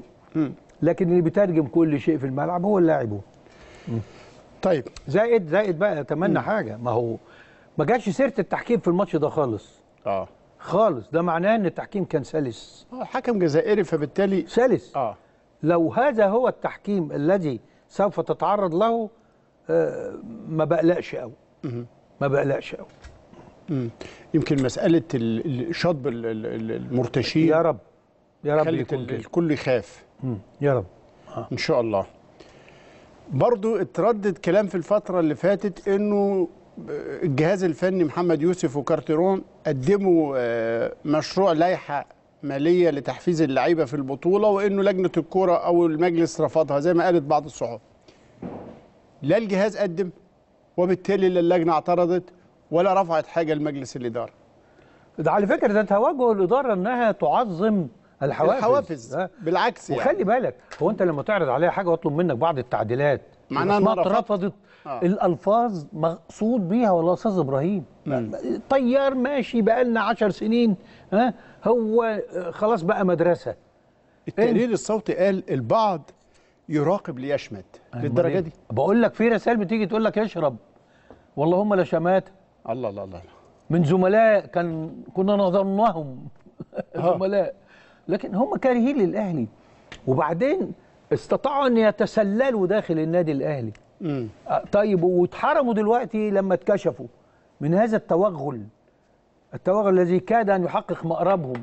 ثم لقوا الناس عمالة تتكلم على المبادئ والقيم وده بيجننهم. ده بيجنن صدقني والله ما بيجننهم غير كل ما يكتشفوا الهوة وال- والمسافة في هذه النقطة بالذات. الأهلي له تقاليده والأسر العريقة كده تقاليد وقيم. هيجي يقول لك أنت عملت أنت سويت. بلاش والنبي ده كلام خايب ها؟ لأن تمر الأيام وتمر الأحداث ويتأكد أن الاهلي لا بيتمسك بثوابته. لأنه حتى حتى وهو يتعرض لكل هذا الهجوم ما نخش وقال طب ماشيها بقى. لا يعني هو هو انت بتهاجمني وأنا اتحدث هنا عن فئات محددة. أولئك الذين ظنوا أنهم قد امتلكوا الاهلي ففقدوه في لحظة في لحظة في لحظة. مش متخيلهم بعدوا عن النادي الأهلي. أصدقاء يبعتوا يقولوا لك هنرجع وهنضيع وهنسوي وبمجرد ما يحصل مشكلة تجدهم يتناوبوا الظهور على آه، وسائل الإعلام والفضائيات يهاجموا الأهلي ويهاجموا الكابتن الخطيب ويهاجموا آه، آه، السياسات بتاعت النادي الأهلي. تمر الأيام ويكتشفوا إن الدنيا ماشية لا إزاي تمشي؟ فهو التقرير بيقول لك يترقب. هو كان رهانه الثاني إيه بقى؟ إن الجمهور يعمل قلق في المدرجات. ما عملش قلق. يا دي الخيبة. طب النتيجة ما تطلعش حلوة. طلعت حلوة. يا دي النصيبة. ها؟ طب هنعمل إيه؟ يبقى الماتش الجاي. يبقى يكتب لي الروشتة إزاي احافظ على كرامة الأهلي. يا راجل. يا راجل اقعد ساكت. والنبي. عشان خاطري. خليك في. افرح بناديك شوية. ناديك بيعمل حاجة حلوة. وبيدعم صفوفه وبيحقق ميزانية هايلة. طب ما تفرح بيه شوية وتسيبك مننا شوية. ولا هي البنديرة لسه فيها ها؟ ما هي دي شتيمه مطو... يعني بالكوين. آه. بتغذي البتاع ينزل لك آه، دقايق أو صفحات. واخد بالك؟ طب خلينا نشوف إيه اللي هيحصل بعد ولذلك كده كلمة الترقب. آه. آه لا في ترقب طبعا. والماتش الجاي إذا ما فزتش هقول لك شفتوا بقى وعملنا بقى. مش هم اللي قال لك الخطيب آه، آه، سبب انهيار الكورة؟ انهيار الكورة في النادي الأهلي. مش قال كده. طيب. الصحف في آه، تقييمها أو نظرتها لفوز الأهلي مجلة الأهلي في عددها بثلاثية أنقذنا الأميرة الأفريقية. الأهلي يهزم تاون شيب ويصحح المسار. الخطيب يؤكد جمهور الأهلي حماه والمبادئ قبل البطولات. وأزاروا نجم المباراة آه، جملة رائعة من الكابتن الخطيب. آه. المبادئ قبل البطولات. طبعا طول عمرها. لأن هي المبادئ اللي هتجيب البطولات. طول عمرك. إذا أنت حطيت ضغط النتيجة أمام إقرار المبدأ بتختار المبدأ فتتحقق النتيجة. بالظبط. صفقات قوية ونوعية للأهلي عمار والبدري والرهان على المستقبل يا رب يا رب يكونوا عند حسن الظن والكره في ملعبهم بس. الاثنين عندهم سمات شخصية محترمة وأتمنى بإذن الله إن هم يكونوا الإضافة التي نتمناها على الاهرام فكرة هنا لازم أشكر آه، دكتور عمرو عبد الحق لأنه الحقيقة الراجل من ساعة ما كلمناه. رئيس نادي النصر. آه طبعا رئيس نادي النصر. و... وهو اللي كان بيلعب له الكابتن الخطيب. آه. احترامه للكابتن الخطيب. قال يعني الأهلي والكابتن الخطيب بيبقوا عايزين مني حد وتظنوا إن أنا مش وكان ممكن يحقق ربما أموال أكتر. آه آه بس هي الأموال بتبقى إزاي يا أستاذ إبراهيم؟ في اللحظة دي ممكن أموال أكتر لكن على المدى البعيد ممكن أكسب أكتر. فإحنا يعني تفاهمنا معاه واقتنع لما كلمناه ناخده معاك بنظام المشاركة. هنديك مبلغ معقول دلوقتي وكل ما يحقق خطوة ونجاح تاخد فلوس وتبقى شريكي في اللعب وهذا ما حدث. والبدري كده على فكرة. يعني آه. بدري 3 مليون مليون ونص دلوقتي. والباقي مصطفى بنفس البدري لعب أسوان. آه، آه، وأنا قلت إيه؟ البدري معنا عشان آه؟ بس نقول للناس مصطفى البدري. آه. وكل ما يحقق نجاح هياخد فلوس. هكذا هي الأمور. ولما بتلاقي أندية مجالس إدارتها على هذا القدر من الاحترام للنادي الأهلي والثقة فيه بتبقى الأمور سهلة أيوة. شفت أنت المداخلة بتاعت آه، الأستاذ تامر بونتو عضو مجلس إدارة أسوان آه. وتقديره أنا سمعت وأنا قاعد بتابعك في الحلقة الجميلة اللي جبت فيها آه، الراجل الرصين الرصين الأهلاوي التقيل قوي حامد عز الدين آه، فطبعا حاجة حلوة إنك تشوف أندية كده. نفس الشيء. الدكتور عمرو عبد الحق و- ومعرفش هو كان قال لي يعني عايز أخش أقول إزاي أنا مقدر النادي الأهلي. أرجو إن يتمكن من هذا. لكن بمجرد ما تفاهمنا معاه الليلة مشيت آه، في هذا السياق. والحقيقة التقدير الكامل مننا للناديين الكبيرين أسوان والنصر ورئاساتهم وقيادتهم الأهرام بعد الفوز قال أخيرا الجولة الثالثة تبتسم لبطل مصر. الأهلي يعبر تاون شيب بثلاثية نظيفة في دوري الأبطال الأفريقي ويجتاز عنق الزجاجة. الأحمر يقفز للمركز الثاني بعد فوز الترجي التونسي و آه، والتاون فريق مجتهد والخبرة حسمت اللقاء. الأخبار الأهلي ينعش أماله الأفريقية بثلاثية في شباك تاون شيب أداء بطيء في الشوط الأول وأزارو ينقذ كارتيرون من صدمة البداية. الأخبار المسائي كان عنوانها الأهلي الفرنساوي ناوي. كارتيرون يعني. آه. فاز على بطل بتسوانا بثلاثية في دوري الأبطال والترجي يتصدر المجموعة. الأهرام المسائي الأهلي محارب. هزم تاون شيب الوديع بثلاثية أزار ومعلول وإسلام. كارتيرون امتياز في أول اختبار بدوري الأبطال. حط تحت تقييمهم لكارتيرون وده اللي بقول لك من ضمن الحاجات الناس كلها كانت متعطشة. أيوه. شوف كارتيرون هيعمل إيه. هكذا الأهرام المسائي رأته. كارتيرون امتياز. مش هنتعجل بس يعني آه، إنما يعني قدر نفتكر. يشيع الطمأنينة يعني. المسا قالت في دوري الأبطال الأفريقي الأهلي رجع يا رجالة. كارتيرون هاجم طوال الوقت واستحق الفوز على تاون بالثلاثية. والموقع الرسمي للنادي نقل عن كارتيرون كلام الأهلي عاد إلى الحياة بعد ثلاثية تاون شيب وقال الموقع أنه كارتيرون أوضح أن الأهلي عاد اليوم للحياة بعد تحقيق هذا الفوز وشدد على أنه محظوظ بتولي مسؤولية قيادة الأهلي وسط هؤلاء اللاعبين مؤكدا أن الفريق يمتلك مجموعة متجانسة وعلى أعلى مستوى وقال أن صلاح محسن مهاجم الفريق ضمن المجموعة الجاهزة وفرصته قادمة هو وغيره من اللاعبين المسجلين في القائمة. وأشار كارتيرون إلى أن أيمن أشرف يشارك كثيرا في مركز الظهير الأيسر ويجيد اللعب في أكثر من مركز. هذا أمر جيد حيث يتيح للجهاز الفني الفرصة لاستخدامه في أكثر من مركز. هو الراجل بذكاء هنا؟ آه. بيرد على شوية رغي كده حاولوا يزرعوه. آه، في, في, في كأشواك لما آه، ودعوا ان ايمن أشرف مستاء وغضبان وعايز مش عارف يمشي على طول عايز يمشي. زي ما تكون اللعيبة دي قاعدة في محطة مصر. ها؟ يعني يعني اللي عايز يمشي يمشي. لكن ما فيش حاجة من دي وهو أشار بذكاء إلى قدرات أيمن أشرف وتنوع آه، قدراته وإنه هو هيبقى له دور. جميل جدا. وكل لعيبة الأهلي لازم تفهم دي. كل لعيبه الاهلي لازم تفهم. ما فيش حاجة اسمها لاعب أساسي ولاعب ولاعب بديل. كلهم أساسيين. آه، طبعا كان كلامه عن سليف كوليبالي المدافع ال- الجديد في أول ظهور ليه كان كلام مهم في المؤتمر الصحفي قال كارتيرون إنه كوليبالي نجح في أول تجربة رسمية مع الأهلي وإنه مدافع جيد وقال أنا بعلم قدراته جيدا سبق إنه آه، توليت تدريبه مع منتخب مالي وأيضا مع مازيمبي الكونغولي شارك في آخر عشر مباريات مع فريقه السابق ومن ثم كان جاهزا من الناحية البدنية والناحية الفنية وده اللي ظهر من خلال المباراة. هنا كابتن هنا محمد يوسف. الملمح ده آه. وطريقة الكلام على كولوبالي امم توري لك إن هو الراجل ده ما اختارش بشكل اعتباطي. آه. عنده ثقة فيه. مش هو اختاره عارفه كويس. عارفه كويس وعارف إن هي دي المواصفات اللي محتاجها في الحتة آه.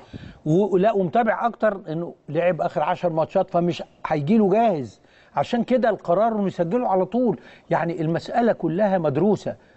و و و و وحجم التقدير الذي يظهره كارتيرون والفرحة بتدريب الأهلي? بتوري لك إن هي هو ده المناخ اللي يؤدي إلى بإذن الله نجاح. عندما يتبادل النادي والمدرب واللاعبون هذا المناخ آه، النجاح جاي بإذن الله. إن شاء الله. الكابتن محمد يوسف بقى المدرب العام قال وجه الشكر للعيبة بعد الفوز على تاون شيب وقال إنه آه، هذا الفوز خطوة مهمة للغاية لتصحيح مسار الفريق في منافسات المجموعة خاصة إنه الثلاث نقاط دفعت للقفز للمركز الثاني بعد ما كان الأهلي في المركز الأخير. وأوضح يوسف إنه اللعيبة دايما وابدا في النادي الأهلي باستمرار هي على المسؤولية. قدموا مباراة جيدة في بداية الموسم لازم نحط في اعتبارنا ده. وأكد إن الفريق حقق العديد من المكاسب من هذه المباراة. آه، ذكر المدرب العام إنه الجهاز الفني نجح في التعامل مع الظروف اللي تسلم فيها المهمة بداية من خوض فترة الإعداد الأولى بدون اللعيبة الدوليين اللي كانوا موجودين مع المنتخب وتأخر انضمامهم للمعسكر في كرواتيا. آه، أيضا افتقاد الفريق آه، جهود مروان محسن حيث اكتملت الصفوف تماما للمرة الأولى في أول مرام في القاهرة بعد العودة من كرواتيا لانضمام سليف كوليبالي ومروان محسن متأخرين. وأشار يوسف إلى إنه اللي جاي بإذن الله للفريق هيكون أحسن في ظل رغبة الجميع في مواصلة مشوار أفريقيا بنجاح لتحقيق اللقب والتأهل لمونديال الأندية. وده كلام مهم جدا. الحقيقة الجو بتاع الفريق. مناخ أي فريق يا جماعة هو ده اللي بيحقق المكسب. الهدوء العدل الاقتناع بفكر المدير الفني. كمان إن المدير الفني ما عندوش توجهات ضد أحد من اللعيبة. دايما عايز يختار الأفضل دايما عايز يختار الأجهز وعنده آه، عدالة في التعامل مع الكل. ده مناخ يحقق بطولة. وده المناخ اللي يساعد على النجاح يا باشمهندس. بالإضافة إلى السعي الجاد والالتزام آه، يبقى بيننا فرص النجاح كبيرة. لكن ما هو أنت ممكن تعمل كل حاجة وعندك كل المقومات لكن التوفيق آه، مهم جدا. أنت داخل على موسم فيه متغيرات جامدة جدا جدا جدا. في أندية دعمت نفسها كويس قوي. في نادي جديد يمتلك إمكانيات قوية جدا. هيبقى غامض هذا الغموض ما أنتش عارف هيبقى يوصلك المفاجأة بتاعته توصلك لحد فين؟ اذا الدوري الموسم القادم هيكون دوري صعب ولكن الأهلي بإذن الله آه، يحافظ على حظوظه بإذن الله. إن شاء الله. طيب شيء طبيعي إنه سواء آه، كارتيرون أو محمد يوسف يكونوا سعداء بالأهلي. شيء طبيعي يكونوا سعداء بالفوز. شيء طبيعي إنه يشيدوا بأداء اللعيبة.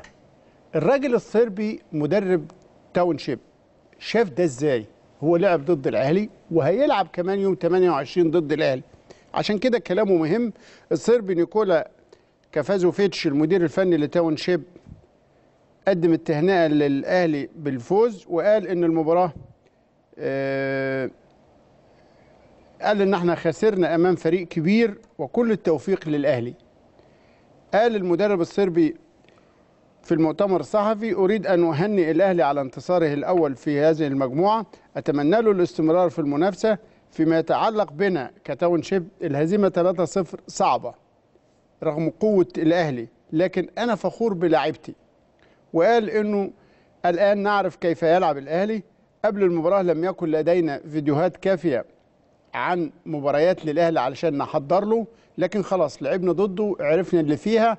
فجهزين له في هذه إبراهيم. التحديات خاصة في ظل هذه الصفقات الكثيرة يا أستاذ إبراهيم. التي أبرمها فريق بيراميدز الذي هو- تم شراؤه من قبل مستثمرين زي ما قال باتريس. هو ده النقطة. مم. هو يرى بيراميدز فريق غامض. مم. جاب لعيبة مهمة. وعلى فكرة اللعيبة اللي جابها من مصر آه، هنقدر نقيم. هو جاب إيه؟ لكن عنده أربعة أجانب. أنت ما تعرفش حاجة عنهم.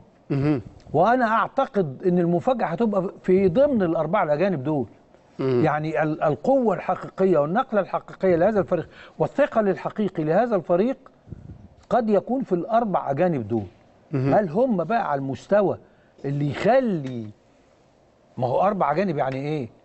40% من الفريق أيوه. أو 35% من الفريق. صح. آه لما يكونوا أساسيين خلاص. وخصوصا هتلعب بيهم. آه. ف يعني أنا شايف إن هو يقول الكلام ده آه كويس آه ولكن هو أشار في الآخر دعني أكمل الحتة دي. إنه يعني موضوع حسين الشحات شغله شوية شغله شوية آه يعني زي ما يكون يعني شغله هو لوحده؟ لا هو شاغل شاغل كمان الإعلام أكتر منه. يعني تملي يقولوا زي كده إيه؟ أنت بت... بترقصني صح لا يعني بيقول لا، لك موافق آه، يعني الشرط الجزائي 10 مليون دولار ل... ل...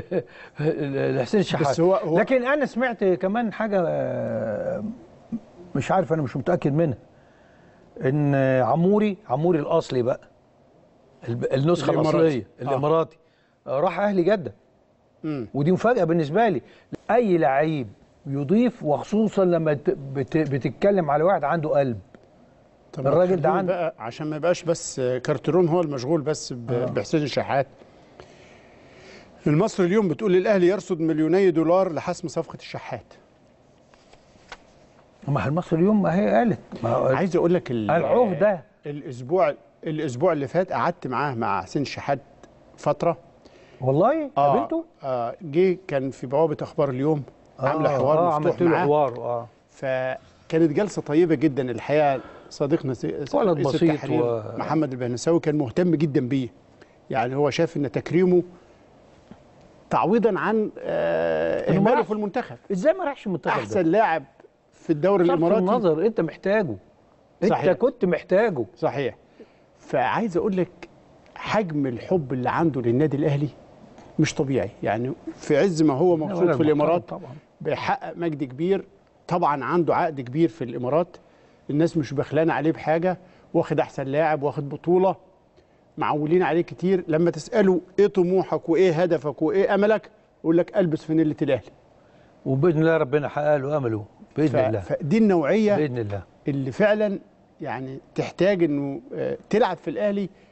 وهو وهو يوم ما يجي الأهلي أعتقد إنه هيقدم بشكل آه، كمان أقوى. بحيث المنتخب يستفيد منه. ما هو ما ينفعش إنك يبقى عندك لعيب كده بال... بالإمكانيات دي. بالإمكانيات دي وبره المنتخب. مم. يعني حاجة غريبة. ما علينا. طيب. الشروق بقى بتقول إيه؟ عديت أنت المصري اليوم صح؟ ما خلاص ما اتكلمنا فيه. والله؟ تكلمت بما يكفي يعني؟ آه كفاية. أنا موافق يعني بس طيب. أعمل حاجة. أنا. موافق. الشروق قالت إيه؟ عرض فرنسي يهدد استمرار أزارو مع, مع الأهلي. الأهلي. ده جديد إنه أزارو بيتمسك بالاحتراف. النادي آه، الأهلي اشترط 10 مليون دولار. لجنة الكرة ترفض الرحيل المجاني لثلاثي الفريق. وفي 7 ملايين جنيه في الموسم لسعد سمير. وإعلان تجديد عقده أربع مواسم قبل السفر إلى بتسوانا وجمال يطلب تحديد مصيره اللي هو عمرو جمال. سعد سمير ماضي من أربع شهور. مم. مسألة بقى إنك أنت سايب لك أنت تقدره خلاص سعد سمير هيتحط مع الفئة الأولى. لأنه راجل لعيب دولي ما آه، في منتخب مصر آه، سنه بيتقدم. ما والأهلي لا يبخس حق أبنائه. طيب الخماسي بقى أو موقف اللعيبة ال- الراحلين. يعني لازال موقف عمرو جمال وأحمد الشيخ وأحمد حمودي وعمرو بركات وباكا أمور لم تحسم حتى الآن. أيوه ما هو أنت تخيل أنت لو 30 ما كنتش هتمشي حد. امم لكن أنت مضطر إنك تعير ناس منهم م. عشان ياخدوا فرصهم. هو أقربهم دلوقتي لأنه فسخ عقده كمان آه، بالتراضي آه، عمرو بركات. مم. وفي كاد أكتر من نادي بس هو مستقر على نادي بعينه يعني. هنا. آه غالبا يقترب المقاصة يعني. يقترب من العودة للمقص مم. آه عمرو جمال؟ عمرو جمال لسه لسه عمرو جمال نفسه يحترف بره يلا ايدنا على كتفك. آه، كان في كلام إن في أندية أكتر من نادي عايزه. آه، طبعا برضه اللعيب لازم يختار النادي اللي هو رايحه. لابد. ويجد نفسه فيه. ويجد فرصته. ما أنت ممكن تروح آه، نادي ما تلعبش. ما عملناش حاجة. أيوه إحنا عايزين اللعيب اللي يطلع إعارة يبقى رايح عشان يلعب. بالظبط. حتى إحنا ولادنا الصغيرين اللي بن- بنبعتهم بنعمل خاص يعني بيقول مثلا بكذا.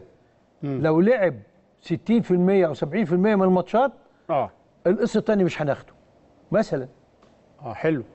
أنا عايز اللعيب يلعب. أيوه. مش فرحان ب 150 كل ولا الأحوال 200 الف جنيه زيادة. هيلعب. آه. وبإذن الله وأحمد يعني. الشيخ قريب من الإسماعيلي؟ كان في كلام الإسماعيلي عايزه بس لسه ما ما اتحسمش موضوع متولي مع الإسماعيلي لسه ولا؟ والله يعني ما أعرفش دلوقتي حتى أنت يعني الإسماعيلي بيقول مش هنسيبه ولا بمي... أنا آخر الموقف ده قريته يعني. مش هنسيبه ولا ب 100 مليون. يعني ما خلاص 100 مليون. ما أنت ما أنت مش في نادي آه، له الحق في يرفض أو يقبل. آه مصلحته فين؟ وانت مش مش هيدي لك حاجة ضد مصلحته. مم. وإحنا بنحترم هذا يعني. طبعا. آه. طبعا. طيب فوز الأهلي على تاون شيب بهذا الشكل آه هنشوف بعض آراء المحللين في القناة الناقلة للبطولة وائل جمعة في تحليله للمباراة يشيد بكل بالي لكن نشوف رأيه في تغييرات كارتيرون. مبروك طبعا لك والجماهير النادي الأهلي هذا الانتصار. الأول للأهلي في دوري المجموعات. لكن الأداء في الشوط الأول كان غير مقنع بشكل كبير. هل التبديلات التي أجراها باتريس كارتيرون هي ما غيرت هذا الشكل وهذا الأداء للنادي الأهلي؟ في الشوط الثاني يعني اهم أهم شيء النهارده طبعا الثلاث نقاط يا أحمد كان مهمين جدا جدا جدا في التوقيت اللي إحنا فيه والظروف اللي اتكلمنا عليها قبل المباراة. الوضع اللي بيعيشه النادي الأهلي والتغييرات الكثيرة اللي حصلت في ال- في المسائل اللي في مصر. إنما النهارده الفوز مهم لعوامل كتير جدا. أهمها مدرب جديد مع مجموعة لاعبين ما فيهمش الخبرة ال- ال- ال- الكافية. آه، أمل الفريق رجع في البطولة الأفريقية مرة تانية بشكل آه، قوي. المركز الثاني بعد الفوز النهارده وفوز ال- الترجي. آه، آه، اللاعبين يكتسبوا ثقة قبل الدخول على مرحلة ال- الدوري. آه، ففوز مهم. النهارده ضيعنا فوز الشوط الثاني فوز كبير. ضيعنا فرص كتيرة جدا نتيجة الرعونة نتيجة عدم الاهتمام. إنما الفريق وصل واستغل الأخطاء الدفاعية والاندفاع لفريق تاون شاب الشوط الثاني والمساحات الكبيرة اللي موجودة. وصلنا أكتر من مرة ضربة جزاء. التغييرات آه، آه، أضافت للفريق. ميدو جابر آه، صنع هدف لإسلام لأزارو. وحصل على ضربة جزاء. و... وإسلام محارب سجل هدف فيعني آه، شايف التغييرات فعلا أفادت كوليبالي صفقة ممتازة ولاعب عجبك جيد. أنت كوليبالي؟ أنا عاجبني هدوءه و... دخلنا وال- تقريباً على في 58 من عمر اللقاء. الأهلي آه، واحد. يمكن في اندفاع شوية بعض ال- الأوقات بيطلع من مكانه إنما في شخصية في هدوء في الملعب مفيد في الكرات ال- العالية الناحية الهجومية بالنسبة له الكرات الثابتة هيبقى عنصر خطر جدا للنادي الأهلي في المباريات اللي جاية مع لما يشارك في النواحي. اكتس- آه في الكور- الكورنر واللعبات الهجومية. إحنا مفتقدين النقطة دي وهيحل مشكلة في قلب الدفاع بالنسبة للنادي الأهلي. عنده خبرة 30 سنة مش لاعب صغير. وائل جمعة عندما يتحدث عن لاعب في مركزه يستطيع أن تطمئن إلى رأيه. هو قال- أشاد. قال كلام مهم جدا آه. عنه. أشاد آه، بكولوبالي وقال أضاف بقى نقطة تانية إنك ممكن كمان هتستفيد من طوله وإتقانه لضربات الرأس الضربات الركنية. الضربات الركنية والكرات الثابتة آه، في الناحية الهجومية. لكن كل ده إحنا بنتكلم على مباراة شفناها. هل الأداء هيستمر على كده؟ هل ظروف المباريات الأخرى هتبقى كده؟ تحت ضغط آه، فرق منظمة أكتر هيبقى إيه الوضع؟ تحت ضغط نفس الفريق على ملعبه. يستمر التألق. دعنا لا نندفع إلى التفاؤل قوي لكن نتفائل. طيب إذا كان ده رأي وائل جمعة وهو مدافع الأهلي عن كوليبالي فماذا عن رأي هيثم فاروق وهو أيضا مدافع ولكن كان مدافع الزمالك؟ نشوف رأيه.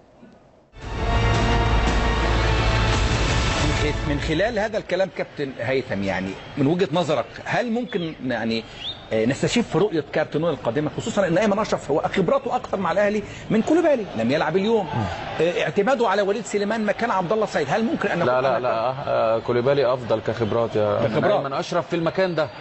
المكان ده في قلب الدفاع. أيمن أشرف لعب في اردباك مع النادي الأهلي بس بالظبط الفترة اللي لعب فيها لعب في سموحة فترة. هو نزله في لا، لا، مكانه الطبيعي لا لا لا كابتن حلمي طولان ب- نزله- بالامس نزله. استمعت ليه وكان يضربه قال أنا بأول ما بدأت بيه كسرت باك في مباراه بعض المباريات مباريات استثنائية آه في مباراه كان عنده إصابة عنده يعني. أنا عاوز أوصل من هذا السؤال لكابتن وائل ما هي دي. مشكلة الاحتراف. هل رؤية كارترون بدات؟ لأن الاحتراف. الكل كان يقول كابتن هيثم أنك هل كارترون سيغير من طريقة لعب الأهلي لا بعد هو الشيب التكتيك 4 2 3 1 بنلعب بيه زي ما لعب بيه كابتن حسام البدري ولكن هي المشكلة انت عندك اثنين لعيبة كانوا في منتخب مصر ولعبوا في كأس العالم. منهم واحد أساسي أماكنهم اتسحبت.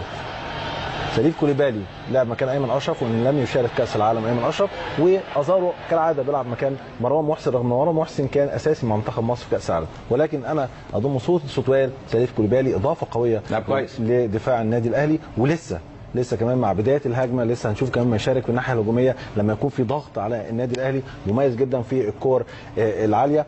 آه، يمكن النهارده ما كانش عليه ضغوطات كبيرة جدا هيبان في الماتشات آه، التقيلة.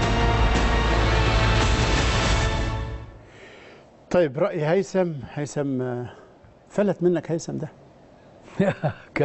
كان لا أنا أقول لك حاجة هي جت القصة إزاي؟ آه. سنة 90 آه.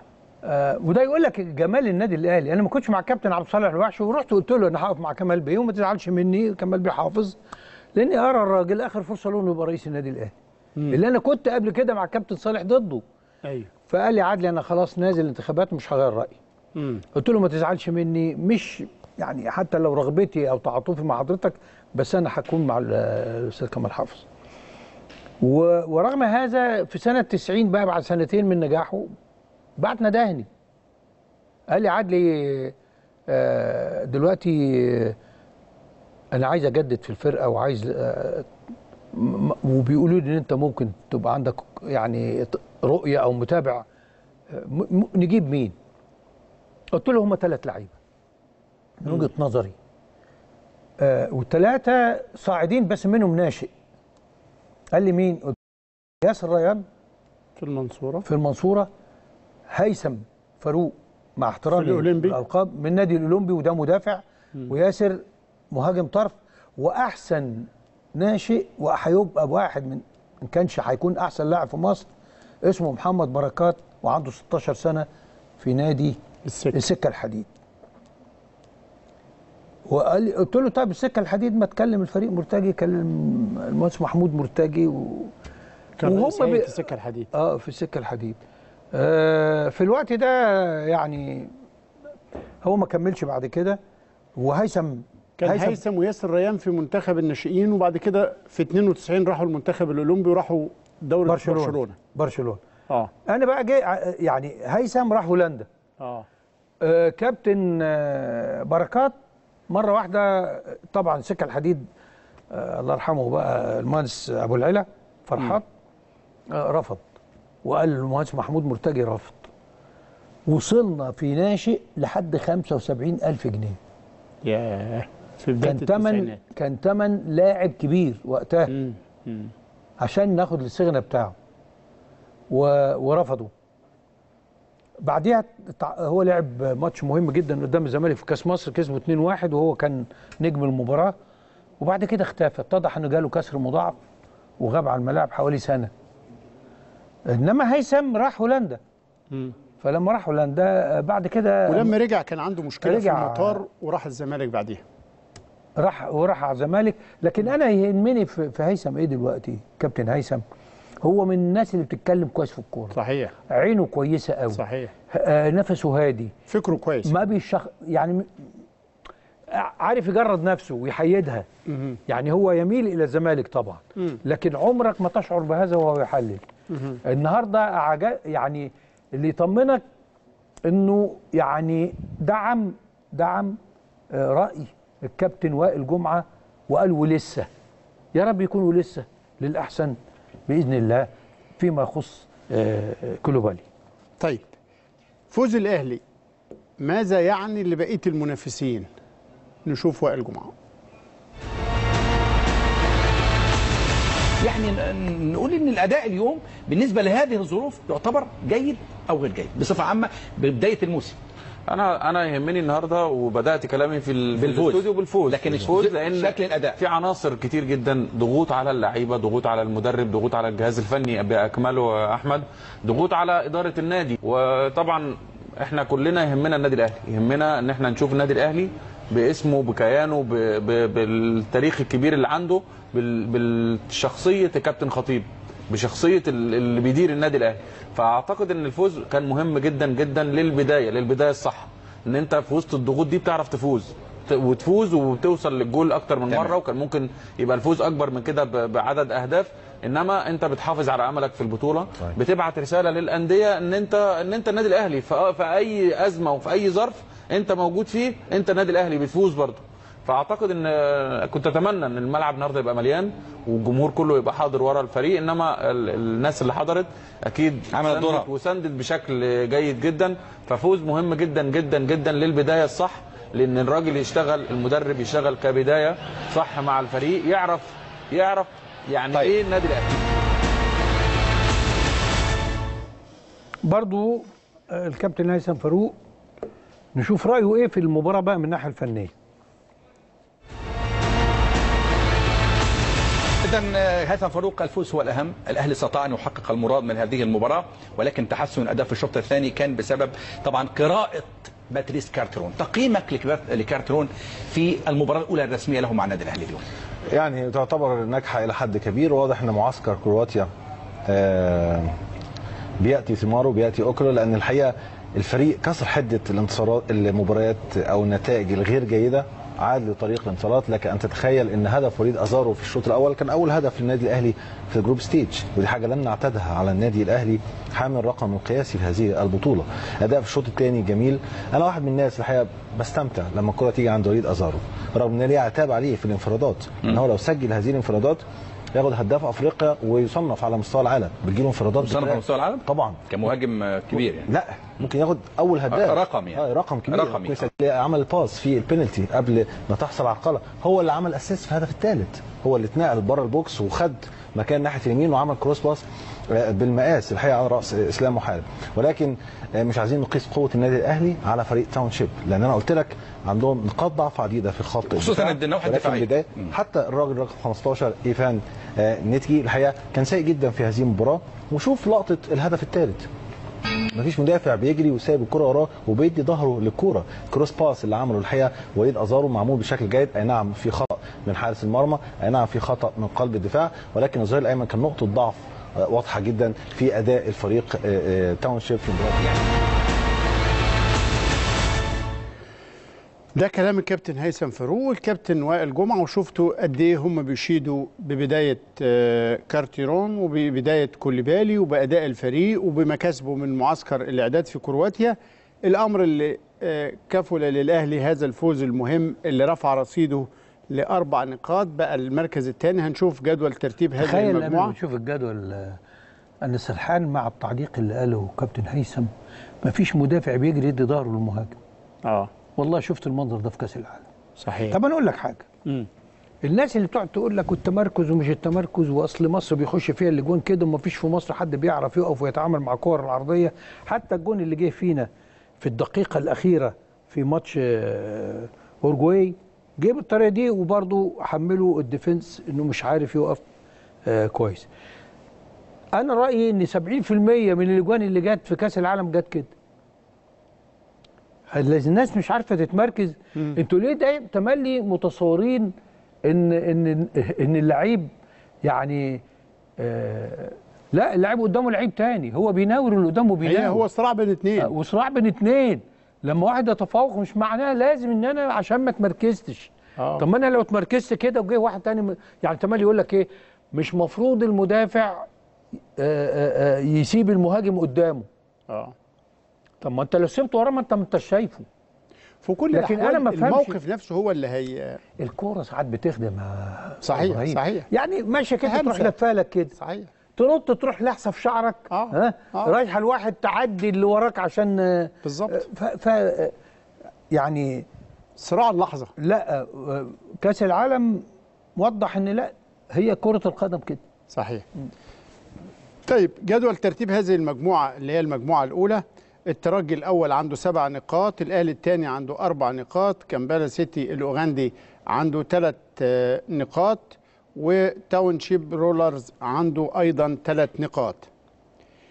الجولة اللي جاية إن شاء الله آه، يوم السبت 28 يوليو الأهلي هيكون في ضيافة تاونشيب في بتسوانا كامبالا سيتي في ملعبه بقى في أوغندا هيستقبل الترجي في نفس اليوم.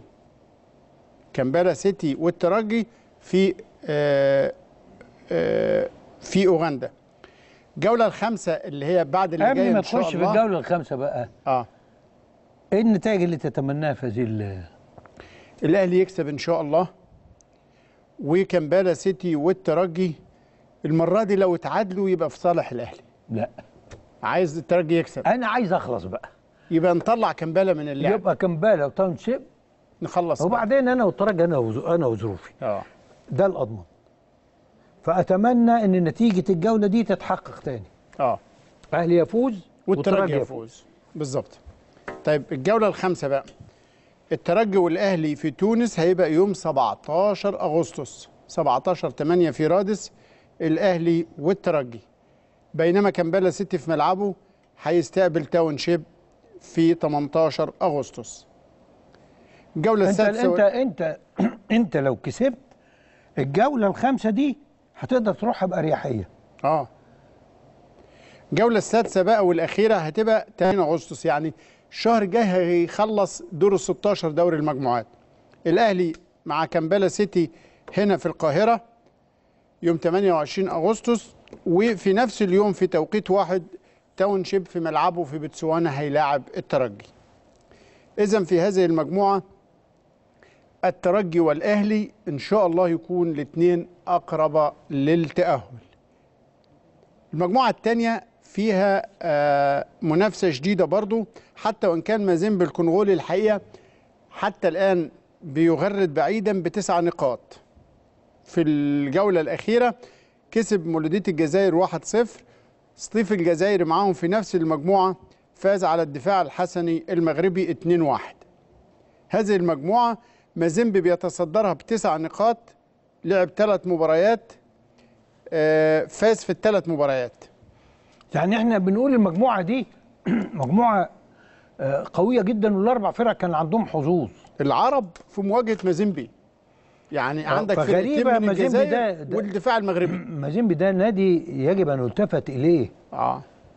وهو صاحبه عاشق لكرة القدم وعاشق لمازيمبي لدرجة إنه لما بيطلع له لعيب زي موبوتو كان مأممه. آه. هذا لاعب ممنوع احتراف ممنوع احترافه وهو من أغنى أغنياء العالم الراجل صاحب النادي ده فكان يستطيع أن يفرد كلماته. مازيمبي عنده أربع نقاط ووفاق سطيف عنده ثلاث نقاط. و آه، المولودية عنده أربعة ووفاق سطيف عنده ثلاثة والدفاع الحسني المغربي عنده نقطة واحدة. الجولة اللي جاية الدفاع الحسني في المغرب هيلعب مع وفاق سطيف يوم 27 والمولودية هيستقبل مازيمبي يوم 28 المجموعة الثالثة الوداد المغربي بيتصدرها بخمس نقاط متساوي مع آه، حورية كوناكري الغيني. اتعادلوا الحرية والوداد اتعادلوا واحد واحد في غينيا في الجولة الأخيرة توجو بور آه، بطل توجو اتعادل فاز على صن داونز الجنوب أفريقي 1-0 هذه المجموعة الوداد عنده خمسة الحورية الغينة عنده خمسة أيضا توجو التوجولي عنده ثلاثة وصن داونز دي مجموعة عنده نقطتين. كل الفرق عندها فرص. الفرص متكافئة للكل. آه. الجولة الثانية في هذه المجموعة الجولة الجديدة سان داونز هيستقبل بطل توجو يوم 27 بينما الوداد هيستقبل الحرية في مباراة مؤثرة على الصدارة هتبقى يوم 28 المجموعة الرابعة اللي بيتصدرها النجم الساحلي التونسي عنده سبع نقاط قدر آه، يكسب في الثلاث مباريات فاز مرتين وتعادل مرة عنده سبع نقاط. في الجولة الأخيرة آه، فاز على المبابان السوازيلندي 3-0 بره ملعبه. بينما زيسكو يونايتد الزامبي اتعادل في ملعبه 0-0 مع أول أغسطس الأنجولي المجموعة أو هذه الجولة الجديدة النجم الساحلي مع مبابان السوازيلندي هيبقى يوم 27 في تونس وأول أغسطس الأنجولي هيستضيف آه، فريق زيسكو يونايتد يوم 27 أيضا. ده الموقف يعني تقدر تقول النجم الساحلي يا باشمهندس غالبا هو والفريق مبابان آه، لا، يعني السوازيلندي عنده. أربع نقط. لو النجم الساحلي غلب الماتش الجاي لا هو النجم okay لكن ال- الحظوظ متساوية. إذا فرص العرب قائمة. الأهلي والترجي في مجموعتهم إن شاء الله فرصهم قوية بإذن الله للتأهل معا. الوداد البيضاوي في مجموعته عنده فرصة كبيرة للتأهل. النجم الساحلي في مجموعته عنده فرصة كبيرة. مازيمبي الكونغولي يطارد من المولودية ووفاق سطيف والدفاع الحسني نأمل إن شاء الله في وجود عربي قوي في الدور القادم. هنطلع لفاصل وبعد الفاصل نشوف أبرز ما ظهر عن كأس العالم من ظاهرة أعتقد مؤثرة جدا دفعت الرئيس الأمريكي السابق باراك أوباما للتعليق عليها. بعد الفاصل.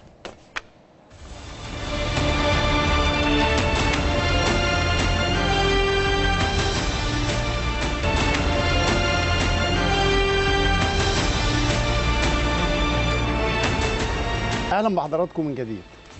عشان تشوفوا حجم التربص بالنادي الأهلي بمبادرات النادي الأهلي بأجواء النادي الأهلي حتى مع محب النادي الأهلي. لأنه الحقيقة في بداية الحلقة المهندس عادل القيعي وهو بيتحدث عن مكاسب هذا الثلاثاء وقد إيه كانت المسائل شديدة الأهمية سواء في مكسب النادي الأهلي في برج العرب وتأهله أو قطعوا مشوار مهم جدا في دوري أبطال أفريقيا اللي بإذن الله يتعزز بالتأهل ثم الإشارة إلى الأجواء الإيجابية التامة التي سادت في علاقة النادي الأهلي مع المستشار تركي آل الشيخ.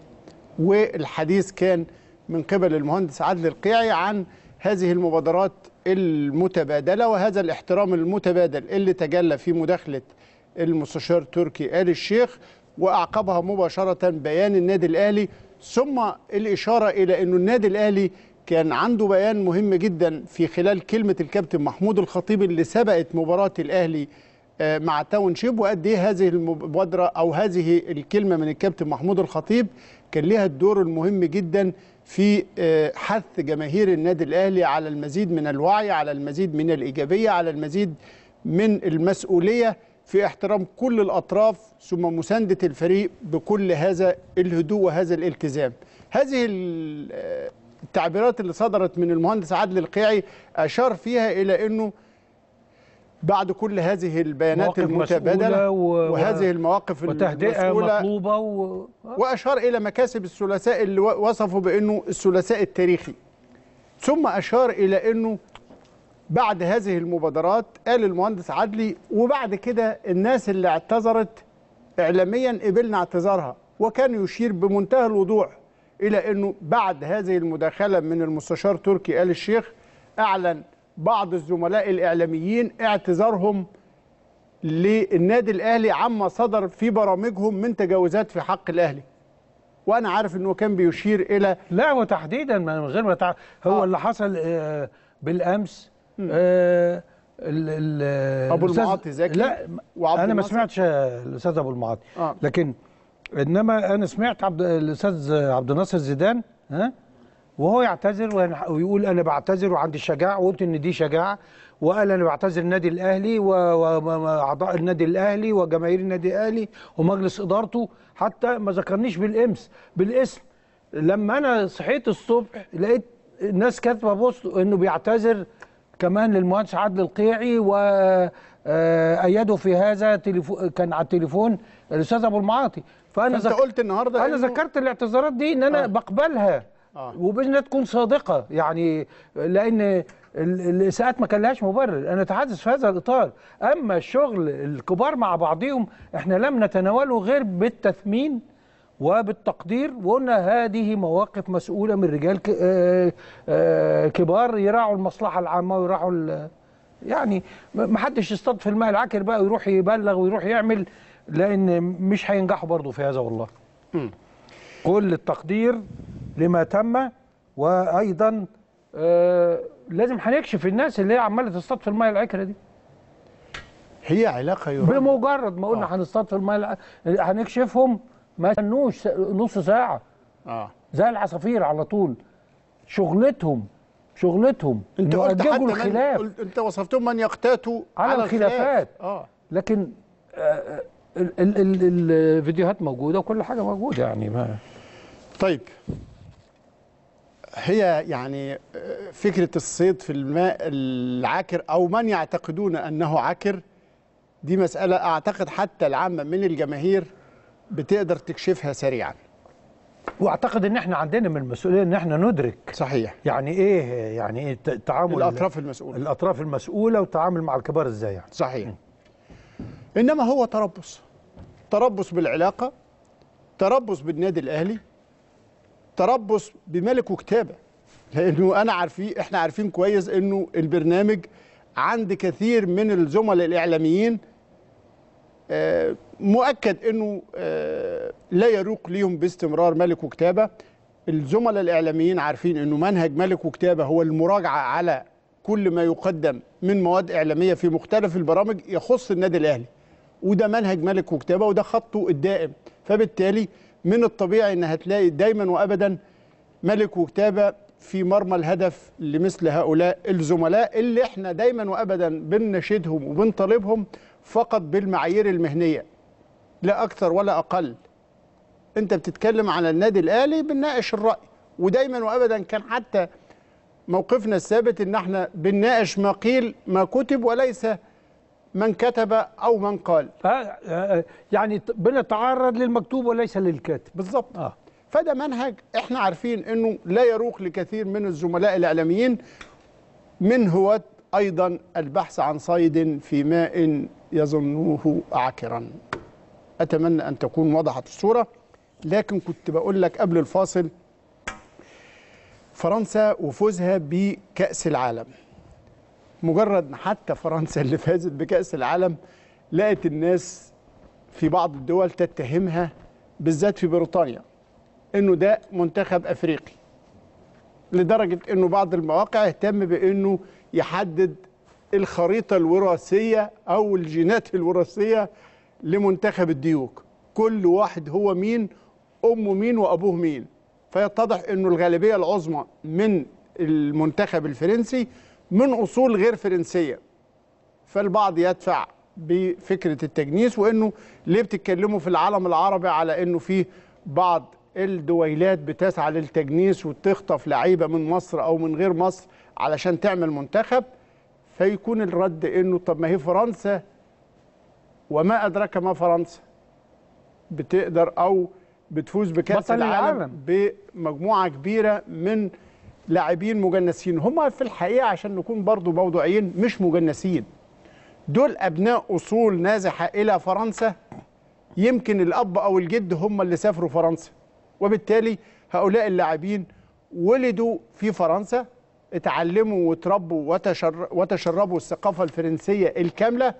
ربما كان الأب يعني هنلاقي مثلا لاعب زي مبابي. الفتى الأسمر الأساسي دلوقتي والنجم الأبرز ويمكن من أكتر اللعيبة اللي القيم التسويقية بتاعتهم ارتفعت بعد كأس العالم. هذا اللاعب الموهوب ولد في اللحظة اللي كانت فرنسا بتحتفل بفوزها بكأس العالم 98 يعني في صيف 98 وقت ما زين الدين زيدان هذا الجزائري الأصل والده إسماعيل زيدان من ضمن المهاجرين اللي هاجروا في بداية القرن لمارسيليا. فبالتالي زين الدين زيدان جزائري الأصل أب. لكن الوقت اللي زين الدين زيدان كان بيدخل الفرحة لكل البيوت الفرنسية وبيحتفلوا بيه كبطل متوج لكأس العالم في 98 في نفس التوقيت جزائرية أخرى لاعبه كرة يد أصلا. اسمها فايزة تزوجت من كاميروني مدرب لكرة القدم علشان في اللحظة اللي الجزائر أهدت أو الجزائريين أهدوا لفرنسا على آه، يد زين الدين زيدان هذه البطولة ولدت فايزة الجزائرية ابنها مبابي كيليان مبابي. عارف يا في نفس لحظة احتفالهم بكأس العالم في 98 أنا حضرت مباراة. ف 19 سنة يحقق لهم مبابي الفرحة تانية. حضرت مباراة بين منتخب العالم ومنتخب فرنسا بعد فوزهم بكأس العالم. 10 لعيبة في الملعب سمر لاعب واحد كان أبيض أعتقد كان حارس المرمى. آه. عشرة. سمر ولا لا كان حارس المرمى كمان كان أسمر كان زين الدين زيدان فقط. نفس الوضع ده. ال- اللعيبة ال- ال- ال- بالذات من شمال أفريقيا كتير منهم موجودين في فرنسا. فلما يبقى مع التزاوج مع أصول إفريقية آه، في حاجة في علم الوراثة لما الأجناس بتختلط في حاجة اسمها قوة الهجين. آه. بتولد آه، يعني آه، يعني أقوى. أقوى. ال- الجيل ده تاني بيبقى أقوى. ودي حتى في الزراعة إحنا كنا بندرسها. الهجن فلما بيتحطوا في مناخ وإبداعات وكورة وموهبة مع القوة مع ال- الرعاية بتكون نتيجة كده. لكن ظاهرة التجنيس يا أستاذ إبراهيم موجودة في العالم. بلجيكا فيها مجنسين. ألمانيا ألمانيا الأصول التركية والأصول البولندية تحديدا البولنديه أكثر من عدة لعيبة كلوزا و- وبودوفسكي وكل دول بولنديين وأوزيل ما هو من أصول تركية. آه، لكن ده مختلف على إنك تيجي قبل البطولة بثلاث أربع أشهر. تخطف لك كم واحد. زي مثلا رفع الأثقال تبص تلاقي نفسك عندك لعيبة فجأة تلعب بجنسيات تانية. ها؟ يعني تركيا كان عندهم آه، حاجة خدوا لعيب آه، بلغاري كان بطل عالم في الأثقال وبعدين اتكررت التجربة. أيوه. النهارده قطر متوسعة فيها. مم. إنما لما يكون ناس عايشة عندك وخلاص دي بقت جنسيتها اتولدت في أرضك. آه. كنا من جسور آه، من من من من جذور إفريقية آه، الإشارة إلى هذا هو اللي مش مظبوط بقى. إنهم سمر وإنهم ده كره ال- ده نجوم العالم الأشهر على مستوى العالم دلوقتي هم السمر. طيب الجارديان البريطانية الحقيقة اهتمت بهذه الظاهرة حسب ما نشرته الأهرام. النهاردة الأهرام فيها تقرير مهم بتنقل عن الجارديان تساؤلها هل تتخلص فرنسا من العنصرية؟ لماذا غرم الفيفا جماهير روسيا وصربيا؟ وقال التقرير إنه لقى تقرير جريدة الجارديان اللي نشر أمس تحت عنوان الأسلحة الناعمة. تنعش الذاكرة في مشهد النهاية للمونديال. صدى واسعا وتفاعل القراء بالتعليقات فضلا عن أن ملف القضاء على العنصرية بات هو الأبرز بعد انتهاء كبرى البطولات الرياضية. اهتمت العديد من وسائل الإعلام المحلية والعالمية بما تبع فوز منتخب الديوك الفرنسية خاصة في مشهد النهاية والعدد الكبير من النجوم الفرنسيين ذوات ال- البشرة السمراء. تقرير الجارديان نقل العديد من الحوادث اللي شهدها الشارع الفرنسي ومشكلات المهاجرين وكذا نشاطات الجمعيات الإنسانية مع الاتحاد الدولي لكرة القدم حول ملف العنصرية في الملاعب. تقرير الجارديان أيضا ركز على نجم المونديال كيليان مبابي ومدى التنوع الإنساني الذي يتمتع به منتخب فرنسا بوجود لاعبين مسلمين مثل بول بوجبا فضلا عن الجذور العرقية المختلفة لكل أعضاء الفريق والجهاز الفني.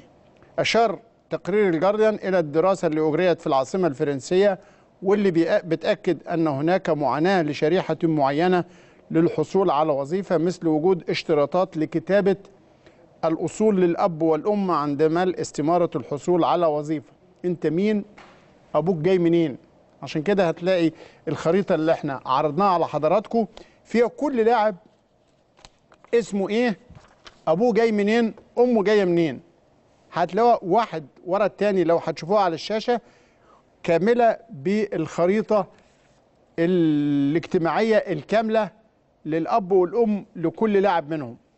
بول بوجبا يمكن الأبوين من غينيا كيليان امبابي الأم كام... الأب كاميروني والأم جزائرية آه، جبريل سيديه الأصول من مالي نبيل فقير الأبوين الأب والأم من الجزائر بليز ماتويدي الأب من انجولا والأم من الكونغو عادل رامي الأبوين من المغرب صامويل امتيتي الأصول بالكامل من الكاميرون آه، عثمان ديمبلي يمكن الأم من موريتانيا والأصل للأب من السنغال آه، وهكذا الباقي. كل واحد بالشكل الكامل.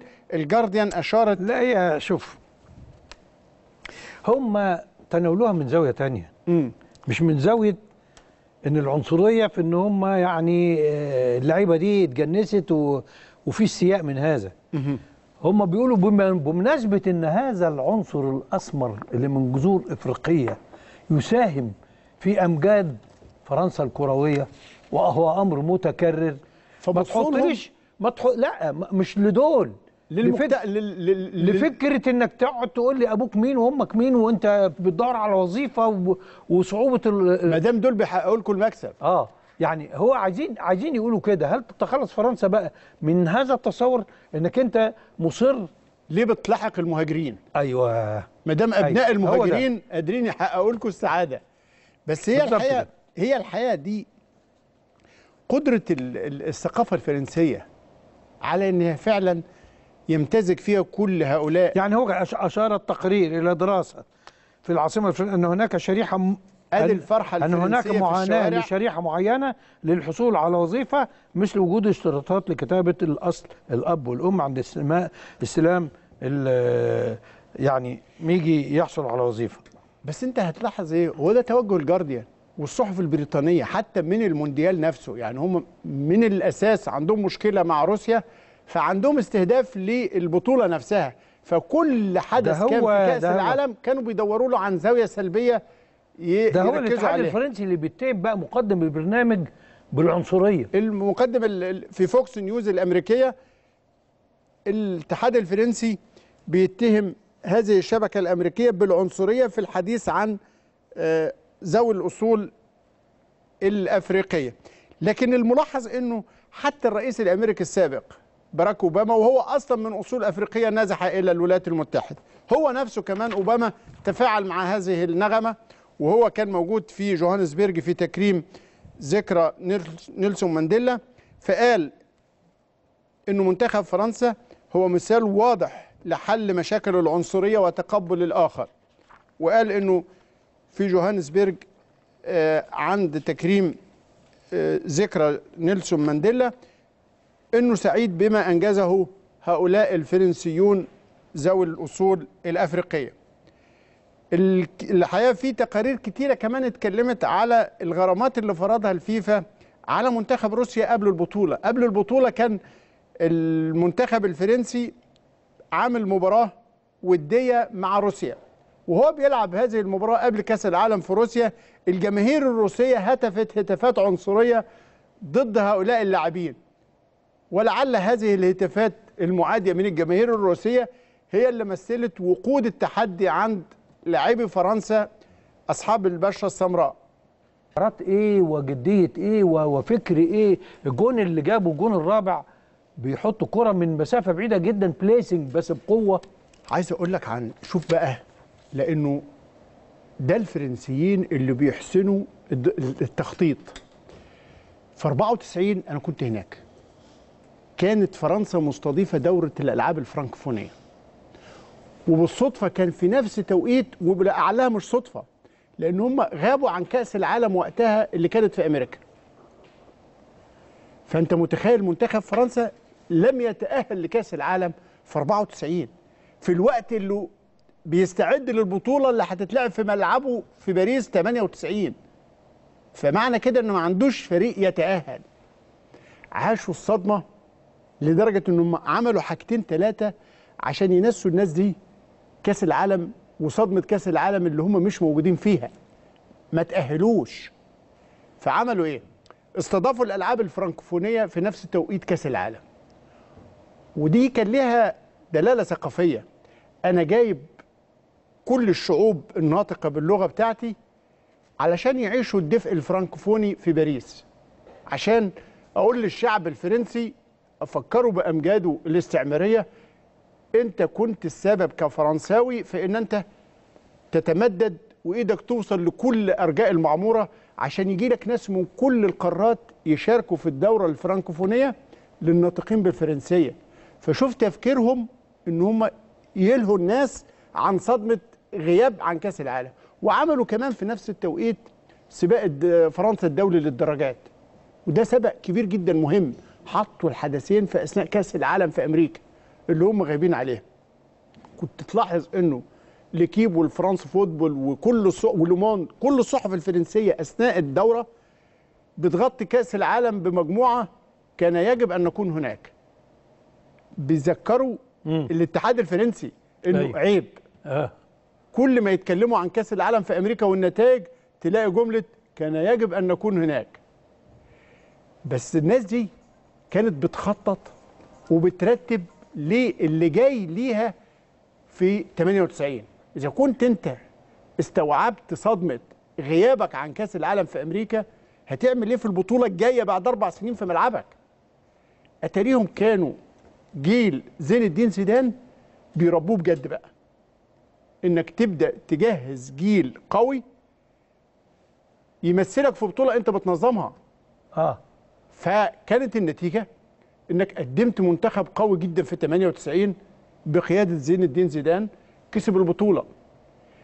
تمر 20 سنة من 98 لغاية 2018 ما ياخدوش البطولة.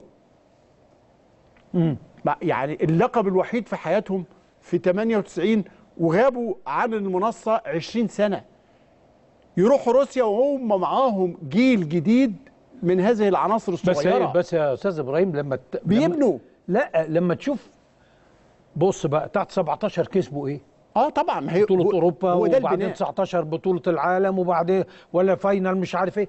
يعني هم وبلجيكا لما هتشوف نتائجهم وإنجلترا هتجد الثلاثة دول عندهم نتائج مذهلة جدا على مستوى قطاع الناشئين خلال ال 10 12 سنة اللي فاتت. آه طبعا. فده وهو ده اللي إحنا بنقوله. نحن لا نستفيد حتى منين الهزيمة. يعني الهزيمة قد تكون مفيدة لو استفدت منها للبناء. لماذا لا نفعل هذا؟ وإحنا في لحظة دلوقتي يعني يا ريت ما نتحاسبش بقدر ما نتحاسب على قدرتنا على التجاوز والتخطيط. السليم بقى. شوف آه، في فرنسا دي نفسها. آه. عشان تشوف انت قلت إيه تكون عندنا قدرة على التخطيط السليم. فرنسا دي جيل في النادي الأهلي آه. سنة 99 2000 موسم أيوة. 99 2000 مم. التجربة بتاعت كورفر والمحمد رمضان. كل اللي إحنا فيه النهارده من المدرسة دي. اخذوا هذا الجيل كان فيهم مؤمن زكريا وكان فيهم هشام محمد وكان فيهم عفروتو. الولاد دول كان عندهم تسع سنين وثمان سنين وعشر سنين. ده حتى اخر آخر دفعة فيها رمضان صبحي والناس دي. بالظبط. آه. تخيل إحنا رحنا فرنسا في بطولة للبراعم في مارسيليا في نفس المنطقة ونفس الملعب اللي لعب فيه زين الدين زيدان في طفولته. أيوه. هذا الملعب شاهد دورة فيها كل الأندية الكبيرة في العالم. كان في من الريال مدريد وكان في فريق من برشلونة وكان في ناشئ اليوفنتوس وكل الأندية الكبيرة في العالم م- مشاركة في دورة مارسيليا الدولية. ناشئ في النادي الأهلي وأنا قلت الكلام ده أكتر من مرة علشان تفرق أو تلاحظ الفرق بين ناس بتبني وبتخطط وتستفيد من المواهب وبتنميها ومواهب عندنا الإهمال بيقتلها. كان في ناشئ في الجيل ده في الاهلي اسمه محمد عبد السلام. ما كملش. لا أنا عارف قصته ده ده له قصة. عارف وهو الراجل مدير الدورة بيديله كأس أحسن لاعب. آه. فبيقول للقنصل المصري ترجم له قول له في نفس الملعب ده وفي نفس الدورة دي تحت عشر سنين زين الدين زيدان كان وقتها أنت بتتكلم بقى زين الدين زيدان خد أحسن لاعب واخد بالك في السن ده وهو من أصول عربية زيكم. أيوه. قول للناشئ ده نتمنى إنك أنت زي ما زين الدين زيدان من سنتين خد أحسن لاعب في العالم ترجع لفرنسا ذات يوم وأنت أحسن لاعب في العالم. طبعا حصلت حاجات كتيرة جدا غيرت مسار هذا الناشئ الموهوب وأعتقد من سنتين كان في بتروجيت وحرس الحدود ولعب في الدرجة الثانية وما أعتقدش إنه كمل في فريق كبير. ده اللي كان الفرنسويين شايفينه سنة 2000 إنه ده ممكن ياخد أحسن لاعب في العالم. فهنا الفرق بين التخطيط السليم يا عارف ليه يا أستاذ إبراهيم؟ آه. أنت كيف تتعامل مع موهبة. مم. الكلمتين اللي اتقالوا محمد عبد السلام دول مم.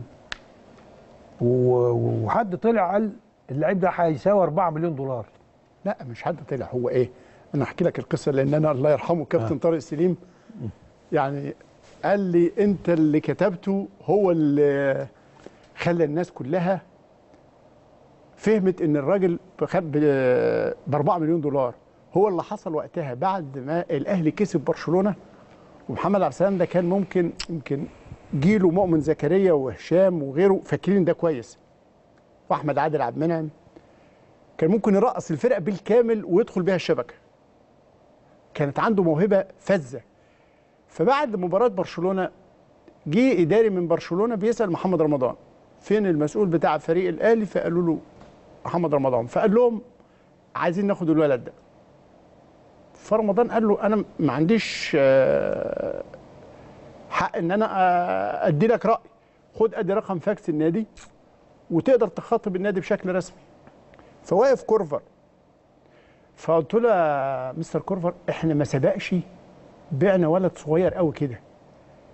لو النادي سألك توافق؟ قال لك آه أوافق. طيب ده بكام؟ قال لي 4 مليون دولار. فأنا استغربت. قال لي أيوه. 4 مليون دولار أنا هقول رأيي كده لأنه برشلونة هيدفع فيه الرقم ده وهيبقى مهتم جدا إنه يعمل منه حضرت كبيرة. كده. أنا يعني آه. حكيت لي أنا وأنا اللي كتبتها فالناس هنا بعد ما ده أنا كتبته في الأخبار رجعنا لقينا كاميرا من التلفزيون جاية تبحث عن اللاعب هو ده بقى اللي أنا عايز أقوله واللي هو سفير نور كان عضو مجلس إدارة إزاي. قضينا على هذه الموهبة؟ باهتمام؟ آه. ما حدش جاهز له. كله بقى بيتحدث عن فين الولد اللي يساوي 4 برشلونة مليون دولار. خدوا ب 4 مليون دولار. خدوا خدوا وباعوا وخلص. ولا خدوا ولا حاجة. فكانت النتيجة إنه أسرته بقت تبحث عن نصيبها في الفلوس فين. الولد يعني كان ناشئ صغير مقيم في الاستراحة. دوكوتي اللي اتقمص قدامه ما, ما, ما كان بيتضايق جدا.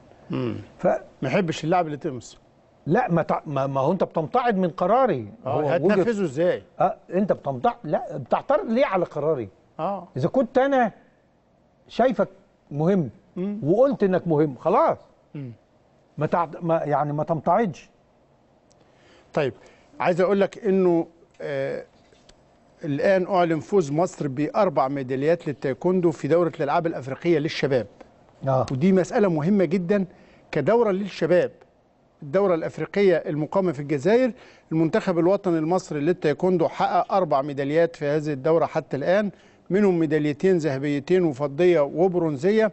ده في اليوم الأول النهاردة للدورة. شوف أنا ملاحظ حاجة يا إبراهيم إن من بطولة البحر الأبيض المتوسط اللي ظلمها كأس العالم آه، مرورا برفع الأثقال ومش عارف بطولات إيه اللي جت بعديها. في إنجازات هايلة جدا لم تنل حظها من الضوء والاهتمام آه، علشان كأس العالم. لكن في نهضة رياضية أرجو أن يتبني عليها صح بقى؟ طب ما يمكن الإنجازات دي بتتحقق عشان الإعلام بعيد عنها. وده جزء لو بدأ يهتم. تصدقني تصدقني قلت لك آه. لو بدأ ما الإعلام ده. جزء اللعيب بقى. آه. تعالى لعيب كده آه. حط أملك فيه وابتدي اتكلم عليه اتكلم عليه اتكلم عليه. شوف كرم جابر بدون إعلام عمل إيه. جاب الذهبية في أثينا. ونهلة رمضان. شوف أول ما حصل تركيز إعلامي عليه بعد كده. ما حسب حصل له الشخصية. إيه؟ آه. ما انت عندك إيهاب آه، عبد الرحمن. لا إيهاب عبد الحميد بتاع رفع الاثقال آه. الراجل بيتقدم سارة سمير بتتقدم. الشخصية برضو ليها تأثير. آه كرم جابر ده واحد كان ممكن يبقى ايقونه المصارعة على مستوى العالم. وكان ينظر إليه كده. مم. يعني تخيل إنه يجيب ذهب. بعدين يفشل في دورة أولمبية بعديها. وبعدين يجي في الدورة اللي. بعديها يوصل فاينل ويتظلم ويتحرم الذهب يجيب فضة. آه. يعني ده إيه القوة دي؟ إيه. طب إيه اللي حصل له في النص الثمان سنين دول؟ آه. مشاكل مشاكل مشاكل مشاكل. الهدف مش واضح. إنك أنت تهيأ للأضواء وتهيأ للنجومية وتهيأ للمكانة وطموحك يبقى عايز يتقدم آه، دي مهمة جدا. وده اللي أنا بقوله بقى. هنا العلم. طيب. أيضا ان الأهلي بيعلن عن وصول رامي ربيعة غدا إن شاء الله الجمعه قادما من ألمانيا بعد خضوعه لبعض الفحوصات الطبي- الطبية هناك للتعافي من الإصابة. البروفيسور الألماني فولفارت طبيب المنتخب الألماني أشاد بتحسن ربيعة ونجاحه في تنفيذ برنامج مثالي في الناحية التأهيلية.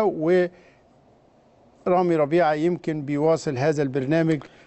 الإصابة الشديدة يا باشمهندس بقطع من- في العضلة الضمة. دي جديدة. آه. ومن أخطر الإصابات. آه. يعني هي دلوقتي شوف داخلة في كام شهر. وربنا يعني يوصله إلى السلامة آه، ويعني كما نتمنى لأن رامي ربيعة ده جوكر. ده مش لعيب تقليدي. صحيح. آه، لعيب عنده شخصية عنده مقومات عنده ميزات كتيرة جدا. يقدر يلعب لك half defender، half- third defender stopper right. back right صحيح. أي حتة هتحطه هيلعب.